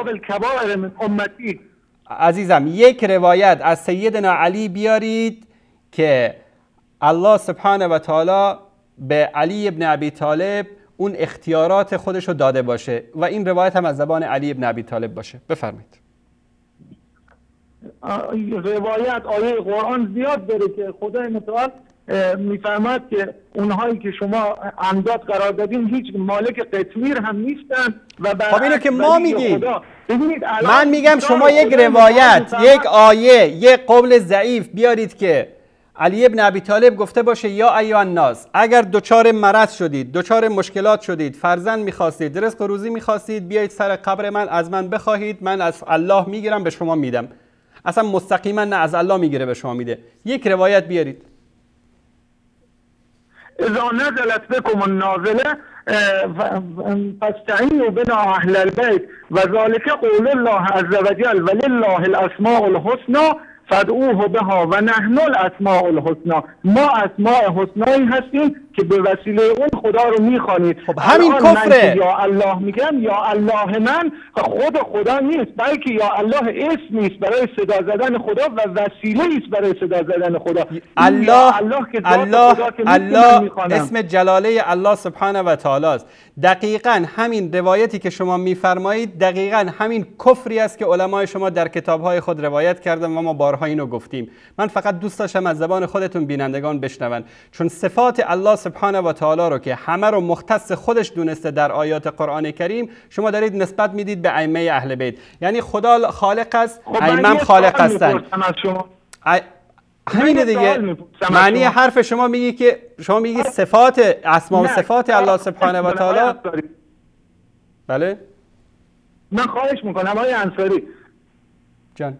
یا علی یا حسین که ما بگیم یا امام رضا که گفتیم و اونها رو واسطه قرار دادیم برای حوائج خودمون این شرک جلیه یا شرک خفی شما همین مشخص این ش... اگر در مکان استغاثه از غیر الله سبحانه و تعالی باشه یا علی به ما کمک کن یا علی به من مدد کن یا علی به من رزق بده یا علی به من وسیله من شو همه اینا کفر است. کسی که این کار رو انجام بده خارج از اسلام میشه. ببینید من دلیلم از قرآن که دلیل؟ در... من ببینید علی ابن ابی طالب این وسیله ای که شما ایشون رو وسیله قرار می‌دید اصلا علی ابن ابی طالب این وسیله رو قبول نداشت. دوستان عزیز نشون بدن این نهج البلاغه علی ابن ابی طالب است. چاپش هم چاپ ایرانه. مترجمش هم آقای محمد دشتی شیعه اثنا عشری ایرانی است. در خطبه 110 در اینجا سیدنا علی رضی الله تعالی عنه میفرماید ان افضل ما توسل به المتوسلون الى الله سبحانه و تعالی الايمان به و برسوله بهترین چیزی که توسل کنندگان به الله سبحانه و تعالی متوسل میشن ایمان به الله و به رسولش است و جهاد در راهش است که جهاد قله اسلام هست و کلمه اخلاص فانها فطره و اقامت الصلات و ایتاء زکات نماز خوندن زکات دادن که واجب است و روزه ماه رمضان صوم شهر رمضان فانه جنه که سپری است از عقاب و حج بیت الله الحرام. تا آخر این روایت ذکر نکرده که ای مردم شما بیایید از من بخوانید. منو وسیله قرار بدید. من رو بین خودتون و خداوند شفیع قرار بدید. احسن. الان چرا جهاد و قرآن خوندن و ایمان و اینها میشه وسیله قرار داد؟ ولی علی رو ولی خدا نمیشه وسیله قرار خدا. گفته یا کس الذین وسیله یا بده. الذین آمنوا اتقوا الله وابتغوا الیه الوسیله. ما تقوا پیشه کنید. تقوای ما در ادای نماز هست. تقوای ما در محبت علی و فاطمه و حسن و حسین و پیامبر صلی الله علیه و آله و سلم است. تقوای ما در پیروی از اینهاست تقوا و وسیله این نیست که اینها رو ما خدا قرار بدیم. به اینها صفت خدایی بدیم. اگر که شما علی رو در کنار خدا قرار دادن صفت خدا قرار دادن برای علی. دلیلی دارید از قرآن؟ بفرمایید که من از اول صحبت تا الان زبان من مو در آورد. شما نتونستید یک آیه از قرآن بیارید. خب شما وقتی که من به شما میگم ان الذین تدعون من دون الله عباد امثالکم پس من حق ندارم بگم آقای انصاری جواب این مسئله رو بده یا م- یا حقوق منو بده. تشکر می‌کنم تشکر می‌کنم آقای حسینی شما دارید وقت ما رو تلف می‌کنید. تشکر از شما. بینندگان عزیز گرامی من به خاطر این قطع کردم که اگر اونا در چارچوب برنامه صحبت می‌کردن و موضوعی که خودشون مطرح کردن من میذاشتم که صحبت بکنن. ای از این شاخه به این شاخه از توسل به خواستن غیر از خواستن به صفات غیر. ببینید این متاسفانه این گردابی است که اینا گرفتار شدن و راه نجاتی برای خودشون ندارن. بابا خیلی ساده است. برگردید به قرآن. علی رو اون علی که پیامبر معرفی کرده والله اون علی رو که رسول اکرم صلی الله علیه و آله و سلم معرفی کرده اگر اون علی واقعی رو شما بشناسید هیچ وقت سعی و تلاش نمی کنید که این صفات الهی رو به علی بدید. علی می‌تونه وقتی علی مؤمن باشه علی فداکار باشه علی ولی باشه که معصوم نباشه میل به گناه داشته باشه اما گناه نکنه. این تقوا و پریزگاری حقیقی است. نه اینکه شما از علی فرشته ای ساختید که میل به گناه نداره گناه نمی‌کنه کلا معصوم است. پس چگونه برای علی افضلیت قائل میشید؟ پس فرق بین علی و بین ملائکه چی است؟ سعی نکنید از علی خدا بتراشید برای خودتون. بله سلام علیکم بفرمایید. بله سلام علیکم بفرمایید. سلام علیکم. جناب انصاری. از چابهار خدمتتون زنگ می‌زنم. این آقای حسینی که باتون صحبت می‌کنه ایشون در کانال های مختلف به نام آخوندی به نام فلان و در لا بلای صحبت هاشون من چند بار با مرشابی و بله. این خاصی همچین نیشخنده های مرموزانه ای بعدم لابا چند تا مثل خودش دورورش هستن که تشویقش می‌کنن. در لا بلای صحبت هاش. از اون بپر از این شاخه پر، ولی میاد و کفر صحابه رو به صحابه نمی‌دونم قرآن رو ثابت می‌کنه. نگیره. درست. تشکر از شما برادر عزیز. تشکر از شما. الله متعال حفظتون کنه. بله سلام علیکم بفرمایید. علیکم السلام و رحمت الله و برکاته. عبدالله از تو انصاری عبدالله از اهواز آقا عبدالله از اهواز شما حدود بیشتر از دو ماه قبل دروغی رو به بخاری نسبت دادید. لطفا این دروغتون رو ثابت بکنید که گفتید در صحیح بخاری روایاتی اومده که کفر ابوبکر و عمر را ثابت می‌کنه در باب تفسیر آیه 4 سوره حجرات. بسم الله این رو ثابت بکنید. خب اگه اجازه بدید مرد هم باشی و منافق نباشی و تماس هم قطع نکنی من تو واقعا گفتم. منافق منافق یک لحظه یک لحظه. منافق کسی است که منافق کسی است که یک لحظه. توهین نکن. آقای عبدالله آقا عبدالله شما لیاقت این رو نداری؟ شما لیاقت این رو نداری؟ من رو هولد می‌ذارم که کمی آدم بشی اخلاق و ادب رو یاد بگیری. شما به ما که تهمت نفاق می‌زنید بزرگترین منافق شماهایی هستید که به اسمهای مختلف گاهی به اسم عبدالله گاهی به اسم اون گاهی به اسم دیگه میایید در این برنامه و به اصحاب پیامبر دروغ میبندید. میگید در بخاری گفته که ابوبکر و عمر کافر شدند. این روایت رو من فقط برای سی ثانیه وقت بد میدم. اگر در این رابطه صحبت کردی خوب ولی صدا تو قطع می‌کنم. بسم الله. بسم الله. حالا ثابت کن من به اسمای دیگه آمدم اگه مرد هستی یا به یا اعتراف کنی آقا. شما به اصحاب پیامبر حالا- توهین حالا کردی. ثابت کن. من من کلیپ های شما رو دارم. من کلیپاتون رو دارم. شما از چه شماره‌ای زنگ می‌زنید؟ امین آقای حسینی لحظات پیش که اینجا تماس گرفته بود. سه هفته قبل سه هفته قبل با یک شماره دیگه تماس گرفته بود. دفعه دومی که امشب تماس گرفت با یک شماره دیگه تماس گرفت. همه این چیزا ثبت است اینجا در اتاق کنترل.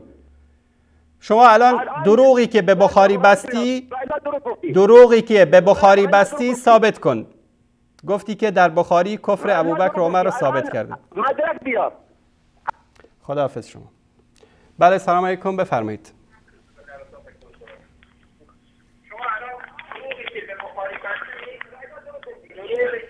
بله سلام علیکم بفرمایید. سلام علیکم آقای انصاری. علیکم السلام و رحمت الله بیننده گرامی. لطفا صدای تلویزیونتون رو ببندید. ببخشید آقای انصاری من محمد رحیم هستم از عربستان تماس می‌گیرم. آقای محمد رحیم بفرمایید برادر عزیز.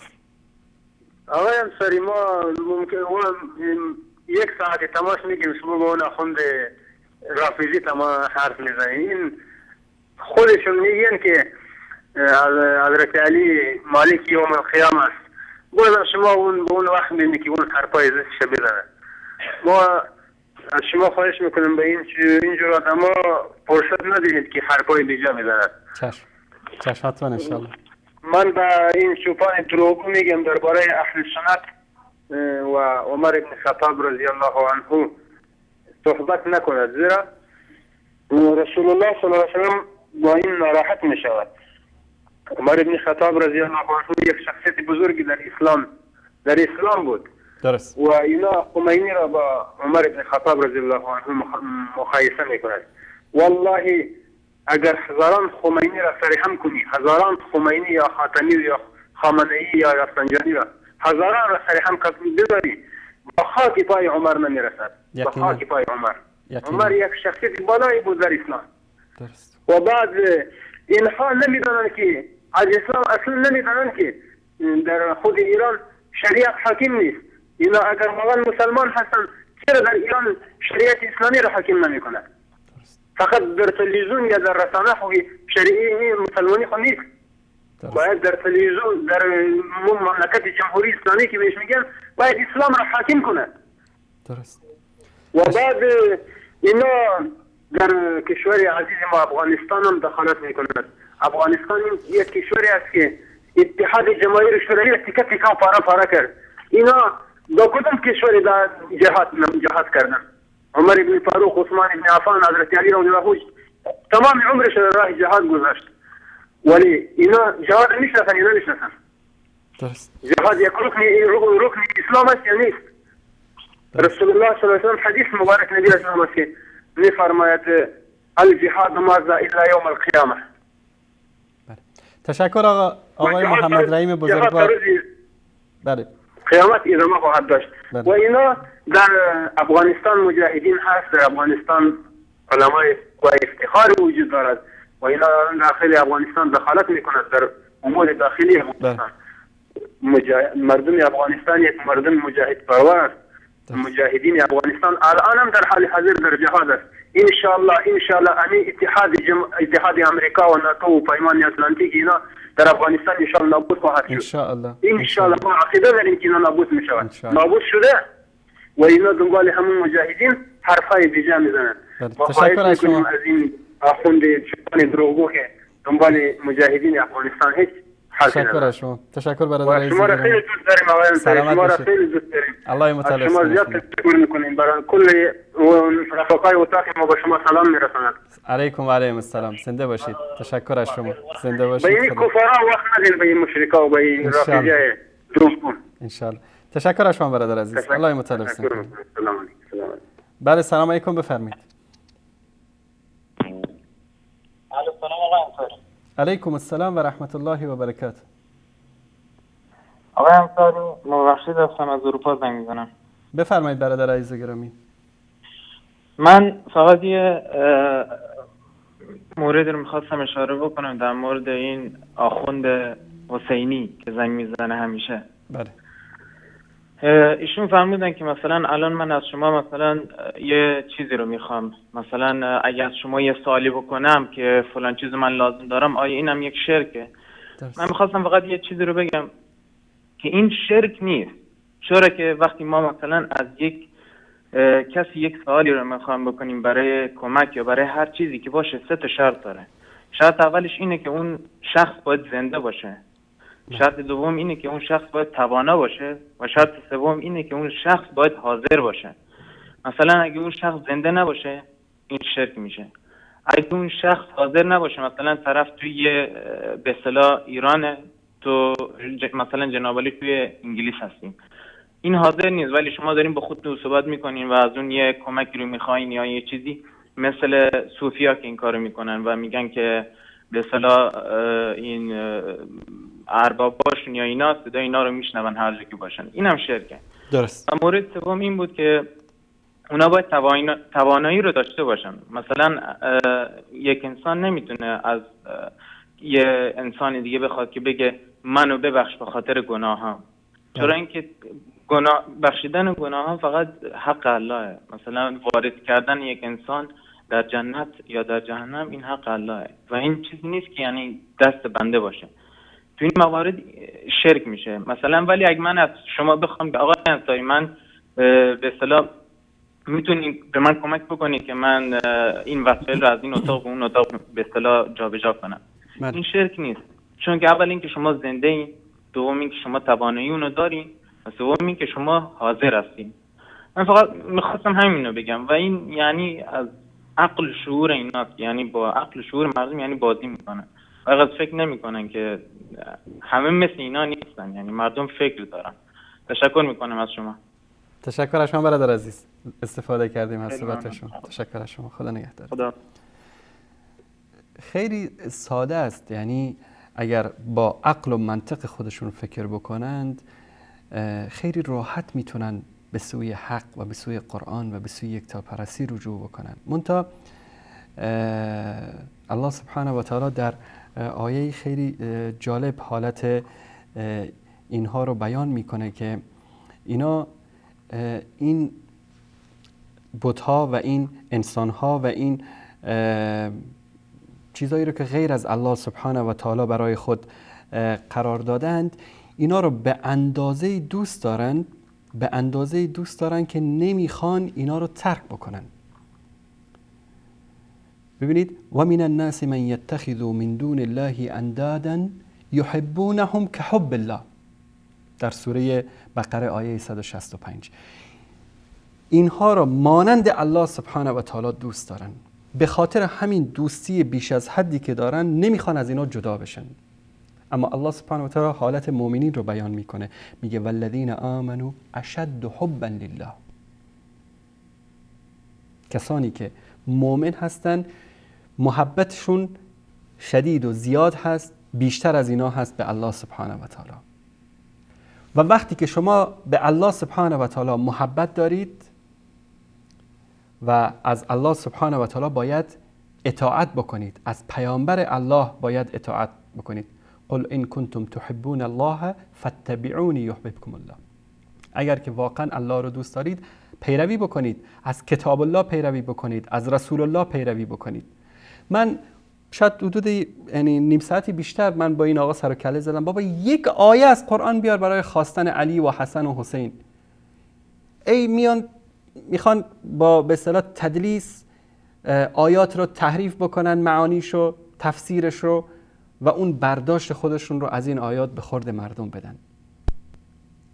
در حالی که اگر صدق و اخلاص برای برگشتن به الله سبحانه و تعالی باشه ببینید در زمان پیامبر صلی الله علیه و آله و سلم کسانی بودن چون صدق و اخلاص برای رسیدن به حق داشتن با شنیدن آیه از قرآن مسلمان شدن اما کسانی بودن که یک عمر عناد ورزیدن مانند ابو جهل و ابو لحب در حالی که می‌دونستن مانند ابو طالب. ابو طالب عموی پیامبر چقدر خدمت کرد به اسلام چقدر خدمت کرد به مسلمان ها چقدر خدمت کرد به پیامبر صلی الله علیه و سلم. اما اون انادی که در نفسش بود نگذاشت که این کلمه توحید رو به زبان بیاره و همون بود که کافر از دنیا رفت. بله سلام علیکم بفرمایید. الو. سلام علیکم بفرمایید. الو. بله سلام علیکم. علیکم السلام و رحمت الله. انصاری؟ بفرمایید بیننده گرامی خودتون رو معرفی کنید از کجا زنگ می‌زنید؟ انصاری آقا جانم من خوزستانی هستم با آقای انصاری کار داشتم. بفرمایید برادر عزیز و خونگرم خوزستانی در خدمت شما هستیم. من قسم این آخونده که تازه با شما حرف می‌زد آقای انصاری. اول سلام علیکم. علیکم السلام و رحمت الله و برکاته. احبك فی الله. احبك الله یا اخی. این آخونده تازه یه ساعت با شما هی دروغ می‌گفت تلبیس می‌کرد. می‌خوام قسم خدا بهش بدم. میگم از خدا بترس. این یکیش. دوما تو وجدانن قسم بخوره که تو خونه از زنش نمیترسین ولک از خدا بترس. ولک خدا که تو رو خلق کرده بچه به داده رزقت داره میده. خدا نمک نشناس. خدا تو بشناس. الله المستعان الله المستعان خب مزاحم نمیشم دستت هم درد نکن آقا انصار خیلی ممنون. جزاک الله خیر. بارک الله فیک برادر عزیز. الله مطالب ست کن. تشکر از شما. بعد السلام علیکم. سلام انصاری. علیکم السلام و رحمت الله خوبی آقا؟ سلامتی سلامت باشید. آقای انصاری کریم از اول زنگ بزنم. آقا کریم از اهواز بفرمایید برادر عزیز گرامی. خوبید سلامتید. زنده باشید. انشالله خداوند به شما طول عمر بدای انصاری سلامت باشید. آقا کریم بزرگوار از جمله برادرانی هستند که شرک و خرافات رو رها کردن و برای قرآن کریم و سنت پیامبر صلی الله علیه و سلم گام گذاشتن. بفرمایید برادر گرامی. بارک شکر می‌کنم آقای انصاری. من می‌خوام یه واقعیتی به شما میگم چند وقت پیش یکی از برادران اومد. برادر شیعه بود. درست. بعد گفت راجع به عقاید ما صحبت می‌کردن اینا اینطور که بهش گفتم گفتم بابا منم خودم شیعه بودم. شما چی فکر می‌کنی؟ چون هر موقع بحث می‌کردی می‌گفت شما سنی ها شما نمی‌دونم فلان. گفتم آقا به من نگو سنی. من خودم قبلا شیعه بودم. از چونه چونه شیعه می‌دونم. چیه می‌دونم مذهب چیه چیه. و اینکه وقتی شیعه شیعه میاد قسم می‌خوره یا میره. برای یه امامزاده توسل می‌کنه خودم این کارا رو می‌کردم. درست. مثلا می‌گفتن آقا ما این کارو نمی‌کنیم. خب در واقع می‌خواستن چیزی رو به من باور بکنن که خودم انجام می‌دادم. درست. می‌خواستن چیزی رو منکر بشم که خودم قبلا انجام می‌دادم. بله. حالا خدا رو شکر می‌کنم. دست از این چیزا برداشتم. خب بله. وقتیش هم دو تا از این برادر اومدن. اعلام چیز کردن شهادتین خوندن الله اکبر. البته به لطف خدا راهنمایی شما برنامه شما. الله خب و رفت آمدی که با هم داشتیم. خداوند بهشون لطف کرد موحد شدن. از شرک خرافات دست برداشتن و می‌خواستم به این دوستمون عبدالله بگم که خودش میگه من از اول زنگ می‌زنم. من میگم کسانی که نون آدم فروشی می‌خورم دست کمی از آقا عبدالله ندارم. نمی‌دونم اسمش عبدالله بود چی بود نمی‌دونم. عبدالله بود بله. عبدالله بود هر چند وقت یک بار به یه اسمی خودشو معرفی می‌کنه. واقعا مایه شرمه. یه نفر اسم مرد رو خودش بگذاره. بعد این همه بخواد دروغ بگه به خودش باور بکنه که انسان دروغگویه شرم خداوند میگم من به این می‌خوام یه سفارش بهش بکنم. بهش میگم زشته برای خودت. می‌خوای بگی اهواز و یا مردم عرب اهواز همچی عقایدی دارن. نه خیر. من می‌خوام اینو به شما بگم آقای انصاری. خیلی تو اهواز به خصوص همزبانای من دارن موحد میشن. می‌دونی چرا؟ متوجه اشتباهاتشون میشن. متوجه دروغایی که بهشون گفته میشه میشن. و عقلشون داره کار میفته می‌خوام بهشون بگم به این آخوندا بگم. دیگه عقل ما بسته نیست. ما آدم های روشنبینی شدیم. ما ما آدمایی هستیم که الان فکر می‌کنیم. الله. دیگه مثل سابق نیستیم که اسیرتون بشیم. با هر حرفی بخوایم مطیع شما بشیم نمی‌دونم غلام حلقه گوشتون بشیم. دیگه اون زمان اون دوره رفت. الان شبکه های به اسم وسال هست نور هست کلمه هست وسال فارسی هست. همه اینا کمک می‌کنه. وسال عربی هست. داره به ما کمک می‌کنه. خدا رو شکر. من امیدوارم و می‌دونم یک روزی میاد که تمام عربای اهواز انشاءالله. به لطف خداوند و یاری شما شما که دارید زحمت می‌کشید شبانه روز من همیشه از خدا از خداوندم می‌خوام. نه اینکه بخوام قلوب بکنم نه خدا رو گواه می‌گیرم. میگم خدایا من که در توانم نیست که بتونم به برادرانم کمک می‌کنم ولی این شبکه ها دارن کمک می‌کنن. بهشون طول عمر بده بهشون عزت بده که بتونن مردم عرب اهواز رو از گمراهی و خرفی خرافاتی که گریبانگیرشون شده سالها بتونن نجات پیدا کنن انشاءالله. انشاءالله. انشاءالله. آقا کریم بزرگوار من فقط یک یک دقیقه وقت شما رو می‌گیرم. برادری در شروع برنامه زنگ زده بودن از تهران. خیلی با حالت مضطرب و پریشانی. می‌گفتن که این آخوندا دین رو تحریف کردن ما رو از اسلام بیزار کردن. خیلی هم عصبانی بودن. نصیحت شما برای کسانی مثل ایشون که در وسط راه موندن نمی‌دونن کدوم طرف برن. یا این فرقی که در زندگی شما ایجاد شده در زمانی که معتقد بودید به این خرافات و الان که موحد شدید. خیلی مختصر اگر بیان بفرمایید. آقای انصاری خیلی راحت. ما مثل یه ترازو میمونیم دو تا کفه داره خب؟ یک کفش عقلمونه یک کفش کلام خداونده. کلام خداوند رو اگه به هر چیزی ارجع بدم کسی که خالق منه من می‌تونم راه روشن رو پیدا بکنم. درست. درست. همین آقای تشکر از شما. تشکر آقا کریم بزرگوار. الله سبحانه و تعالی به شما ثبات و پایداری در این راه نصیب بکنه. بارک الله فیکم. از دیدن شما از صدای شما هم خیلی خوشحالم من سلام من به تمام دستن در کارا تمام برادرانی که تویش که زحمت می‌کشن برسونید به عنوان برادر کشی علیکم و علیهم السلام. تشکر از شما برادر عزیز بزرگوار. خدا نگهدارت خدا یار نگهدارتون باشه. بله سلام علیکم. بفرمایید.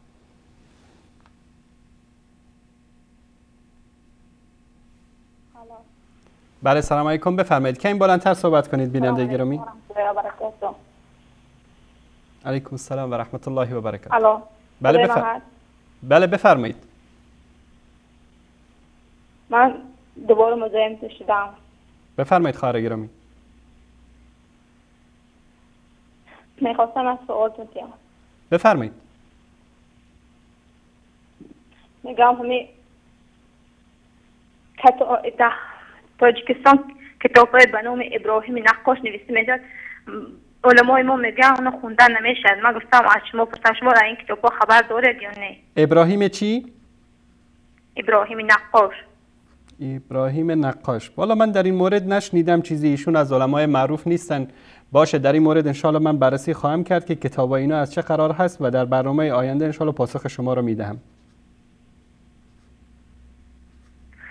و یک سوال دیگه داشتم. بفرمایید. می‌خواستم پرسم که اگر انسان قرآن خوندن قرآن رو با ترجمه با تجوید خوندن نتواند برای اجاد کنوندن یا که خوندن یک همیشگی میخوندست آیا تا در- درست است یا که گناهگار می‌شود؟ باشه در این مورد هم صحبت می‌کنم. تشکر از شما خواهر گرامی. زنده باشید. تشکر از شما. همین برنامه جواب میتره برنامه دیگه همین برنامه. جواب این سوال اخیرتون رو همینجا میدم بر خواهر گرامی. تشکر از شما. خدا نگهدار. خدا نگهدارتون.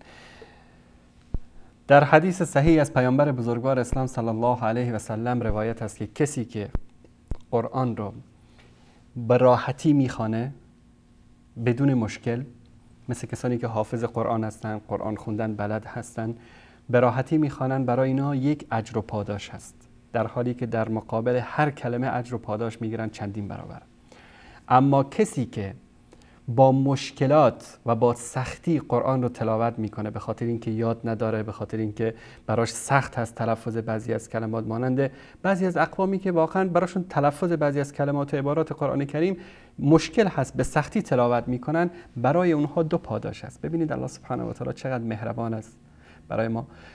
در حالی که متاسفانه در بعضی از کشورها مانند افغانستان و تاجیکستان بعضی از ملاهای عقب مانده اجازه بدید اینو بگم بعضی از ملاهای عقب مانده که به اصطلاح دسیسه های دشمنان اسلام رو پیاده می‌کنن بدون اینکه بدونن به قرآن دست نزن که تو نمی‌تونی بخونی گناهکار میشی. آ این قرآن به هفت چیز بپیچید اون بالا بذارید که دست کسی نباشه که گناهکار میشه. آ قرآن نخون که اشتباه می‌خوانی گناهکار میشه پیامبر صلی الله علیه و آله و سلم میفرمان کسانی که با مشکلات قرآن رو تلاوت می‌کنن دو اجر می‌برن یک اجر به خاطر تلاوتشون یک اجر به خاطر اون سختی که متحمل میشن. این به این معنی نیست که ما سعی و تلاش نکنیم قرآن رو به اون شکل صحیح که هست یاد نگیریم. نه سعی و تلاشمون رو بکنیم. اما تا حد توانمون. و این رو به یاد داشته باشید که الله سبحانه و تعالی به اندازه اون نیتی که شما دارید به شما اجر و پاداش و ثواب میده.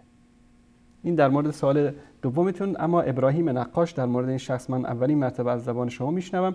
انشالله در موردش بررسی خواهیم کرد که این شخص چه شخصی است. و مادامی که علما در مورد ایشون این شخص به اصطلاح گفتن کتاباشو نخونید حتما کتاباش حاوی مطالب نادرستی هست که علما من کردن از این بله سلام علیکم بفرمایید.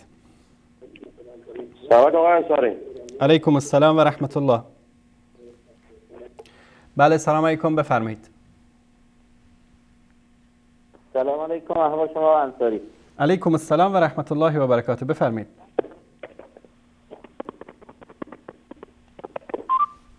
آقای انصاری خسته نباشین. سلامت بشید بیننده گرامی. خودتون رو معرفی بفرمایید از کجا زنگ می‌زنید؟ من علی رضا ایدری هستم از گراش استان فارس. آقای علیرضا حیدری بفرمایید برادر عزیز. برادر من یک مدتیه که یه مدتیه که اومدم به حساب اهل سنت رو انتخاب کردم. قبلا شیعه بودم؟ اهل سنت انتخاب کردم و الان می‌خوام کمکم کن راهنمایی کنید که ببینم باید چند تا سرگردن بزنم که مثلا دیگه جز وهابی حساب بشه. بله. در کجا گفته آقای علیرضا حسینی این بازی ها خیلی کهنه شده. همون اه، کیک و ساندسی که اطلاعات به شما دادن به خاطر تشویش در این برنامه فکر کنم ارزش این رو نداشته باشه که شما بیایید اینجا آبروی خودتون رو ببرید. اگر مردانگی دارید شجاعت دارید آقای هیدری آقای هیدری اگر مردانگی و شجاعت دارید اگر مردانگی و شجاعت دارید. یک روایت از یک نفر سنی وهابی سلفی هر چی که میگید. و این دروغ هایی که علمای شما به خورتون داره یک روایت بیارین که گفته باشن که سر شیعه یا سنی رو ببری وارد بهشت میشی. آقای حیدری فرار کرد. من توصیه می‌کنم به وزارت اطلاعات ایران به اون اتاقهایی که آماده کردن برای این کیک و ساندیس خوراشون یک کمی به اینا عقل و منطق یاد بدن. من انسانایی رو بیارن که لاقل که عقل داشته باشه شعور داشته باشه کم و بیش علم داشته باشه که حداقل بتونه بحث بکنه با ما. یک انسانهای احمق و جاهل از کوچه بازار از پارکای تهران جمع کردن آوردن به اینا پول میدن که حیف این پولی که به اینا داده میشه. از خمس به اصطلاح امام زمان و از این پولایی که از مردم میدوزید به نام خمس به این افراد می‌دید. حداقل برن مطالعه بکنن این چیزی یاد بگیرن بعد بیان زنگ بزنن به شبکه. بله سلام علیکم بفرمایید. الو؟ بله سلام علیکم بفرمایید. سلام علیکم آقای انصاری خسته نباشید. سلامت باشید بیننده گرامی لطفا خودتون معرفی بفرمایید از کجا زنگ می‌زنید؟ من حمید هستم از تهران زنگ می‌زنم. آقا حمید بزرگوار بفرمایید دو دقیقه وقت داریم یک دقیقه مال شما یک دقیقه مال من. آقای انصاری من فقط می‌خوام فقط فقط از شما تشکر کنم و خدا وکیلی باور کنید. الان یعنی خواب از چشم داره میریزه. هی می‌خواستم بگیر چشم بسته می‌شد. ما یه بدبختی بالاخره گرفتم. این چجوری گرفتم. گفتم خدای کمک کنید تماس من بگیرم. همین کلمه رو گفتم همین کلمه اتفاق تونستم شماره شماره بگیرم. واقعا این حرفی که شما می‌زنید واقعا خیلی دوست دارم خدا خود شما رو هم حرفاتون واقعا اصلا من موندم چقدر شما تشکر اصلا حتی حساب نداره. از شما از برنامه خوبتون. کلا از سازمان برنامه شما واقعا باور کنید من فردا صبح می‌خوام پنج صبح بلند شم می‌خوام برم سر کار. خدا خدا رو گواه گرفتم که فقط شماره شما رو بگم از شما تشکر کنم. سلامت باشید واقعا این حرفو که زدید من یه آدم گناهکارم گناهکار بودم ولی الان احساس می‌کنم نیستم. چون واقعا با این حرفی که شما زدید من اشک از چشم اومد بیرون. به اسم خدا خدا وکیل اصلا من تا اشک نمیریختم. گریه کردم به خاطر اینکه شما گفتین قرآن اینجوری بخونید دو تا پاداش داری. در حالی که خودم تو خوندن قرآن مشکل دارم. بله. ولی به خاطر این حرف شما واقعا یه دفعه اشک فشار سرازیر شد. دیدم واقعا خیلی حرف. خدا چقدر بخشنده و مهربانه. ولی آدمایی مثل حسینی و همسال حسینی ببین چقدر تو موقع ما خوندن که بدبختمون کرد. بیچارم کردن. من واقعا از شما تشکر می‌کنم. به اون جوانی که اول برنامه زنگ زد به اونم نصیحت می‌کنم. هیچ موقع این دینش رو تایید نکنه. دو دل نشه نمی‌دونم. کوک نورزه. نه که من اینجوری هم من اینجوری هم. من واقعا از طرف خودم از طرف شما بهشون نصیحت می‌کنم که این امثال آقای حسینی حرفای آقای حسینی رو اصلا دل کنن. بچسبن به این برنامه. بچسبن به حرفای شما. مثل من. منم جوان 24 25 سالم. منم عین عین اونم عین خودشم. ببین من چه احساسی دارم اون چه احساسی داره. من کجا و اون کجا؟ الله. ان که خدا کمکشون کنه خدا شما هم کمک کنه طول عمر بهتون که این برنامه تا آخر همینجوری پرملات ادامه پیدا کنه. یا الله مدد. یا الله مدد. تشکر. من پیشانی آقا حمید و امثال ایشون رو میبوسم که الله سبحانه و تعالی این ثبات و پایداری و ایمان رو به اونا نصیب کرده. تشکر از شما برادر گرامی. سلامت باشی الله کمکتون باشه. زنده باشید. فی امان الله. آقا حمید آخرین تماس مثل ختام این برنامه بودن. من تشکر می‌کنم از تک تک عزیزانی که تماس گرفتن اظهار محبت کردن. برادران و خواهران عزیزمون از تاجیکستان از ایران از افغانستان از عربستان سعودی. امیدوارم که الله سبحانه و تعالی به ما این توفیق و اخلاص و نصیب بکنه که بتونیم در خدمت شما عزیزان باشیم و در راه نشر توحید و یکتاپرستی گام برداریم. و عذر می‌خوام از عزیزانی که پشت خط ها موندن و ما نتونستیم صدای گرمشون رو بشنویم. همچنین از برادران و خواهران عزیزی که ایمیل فرستادن و شاید که ماها طول کشیده باشه و ما نتونسته باشیم جوابشون رو بدیم. عزیزانی که پیام میفرستن از طریق فیسبوک از طریق واتساپ شبکه از تک تک شما بزرگواران معذرت می‌خوایم. الله سبحانه و تعالی یار و نگهدارتان باد. و صلی الله علی سیدنا و حبیبنا محمد و علی آله و صحبه اجمعین. السلام علیکم و رحمت الله و برکاته. Mm-hmm.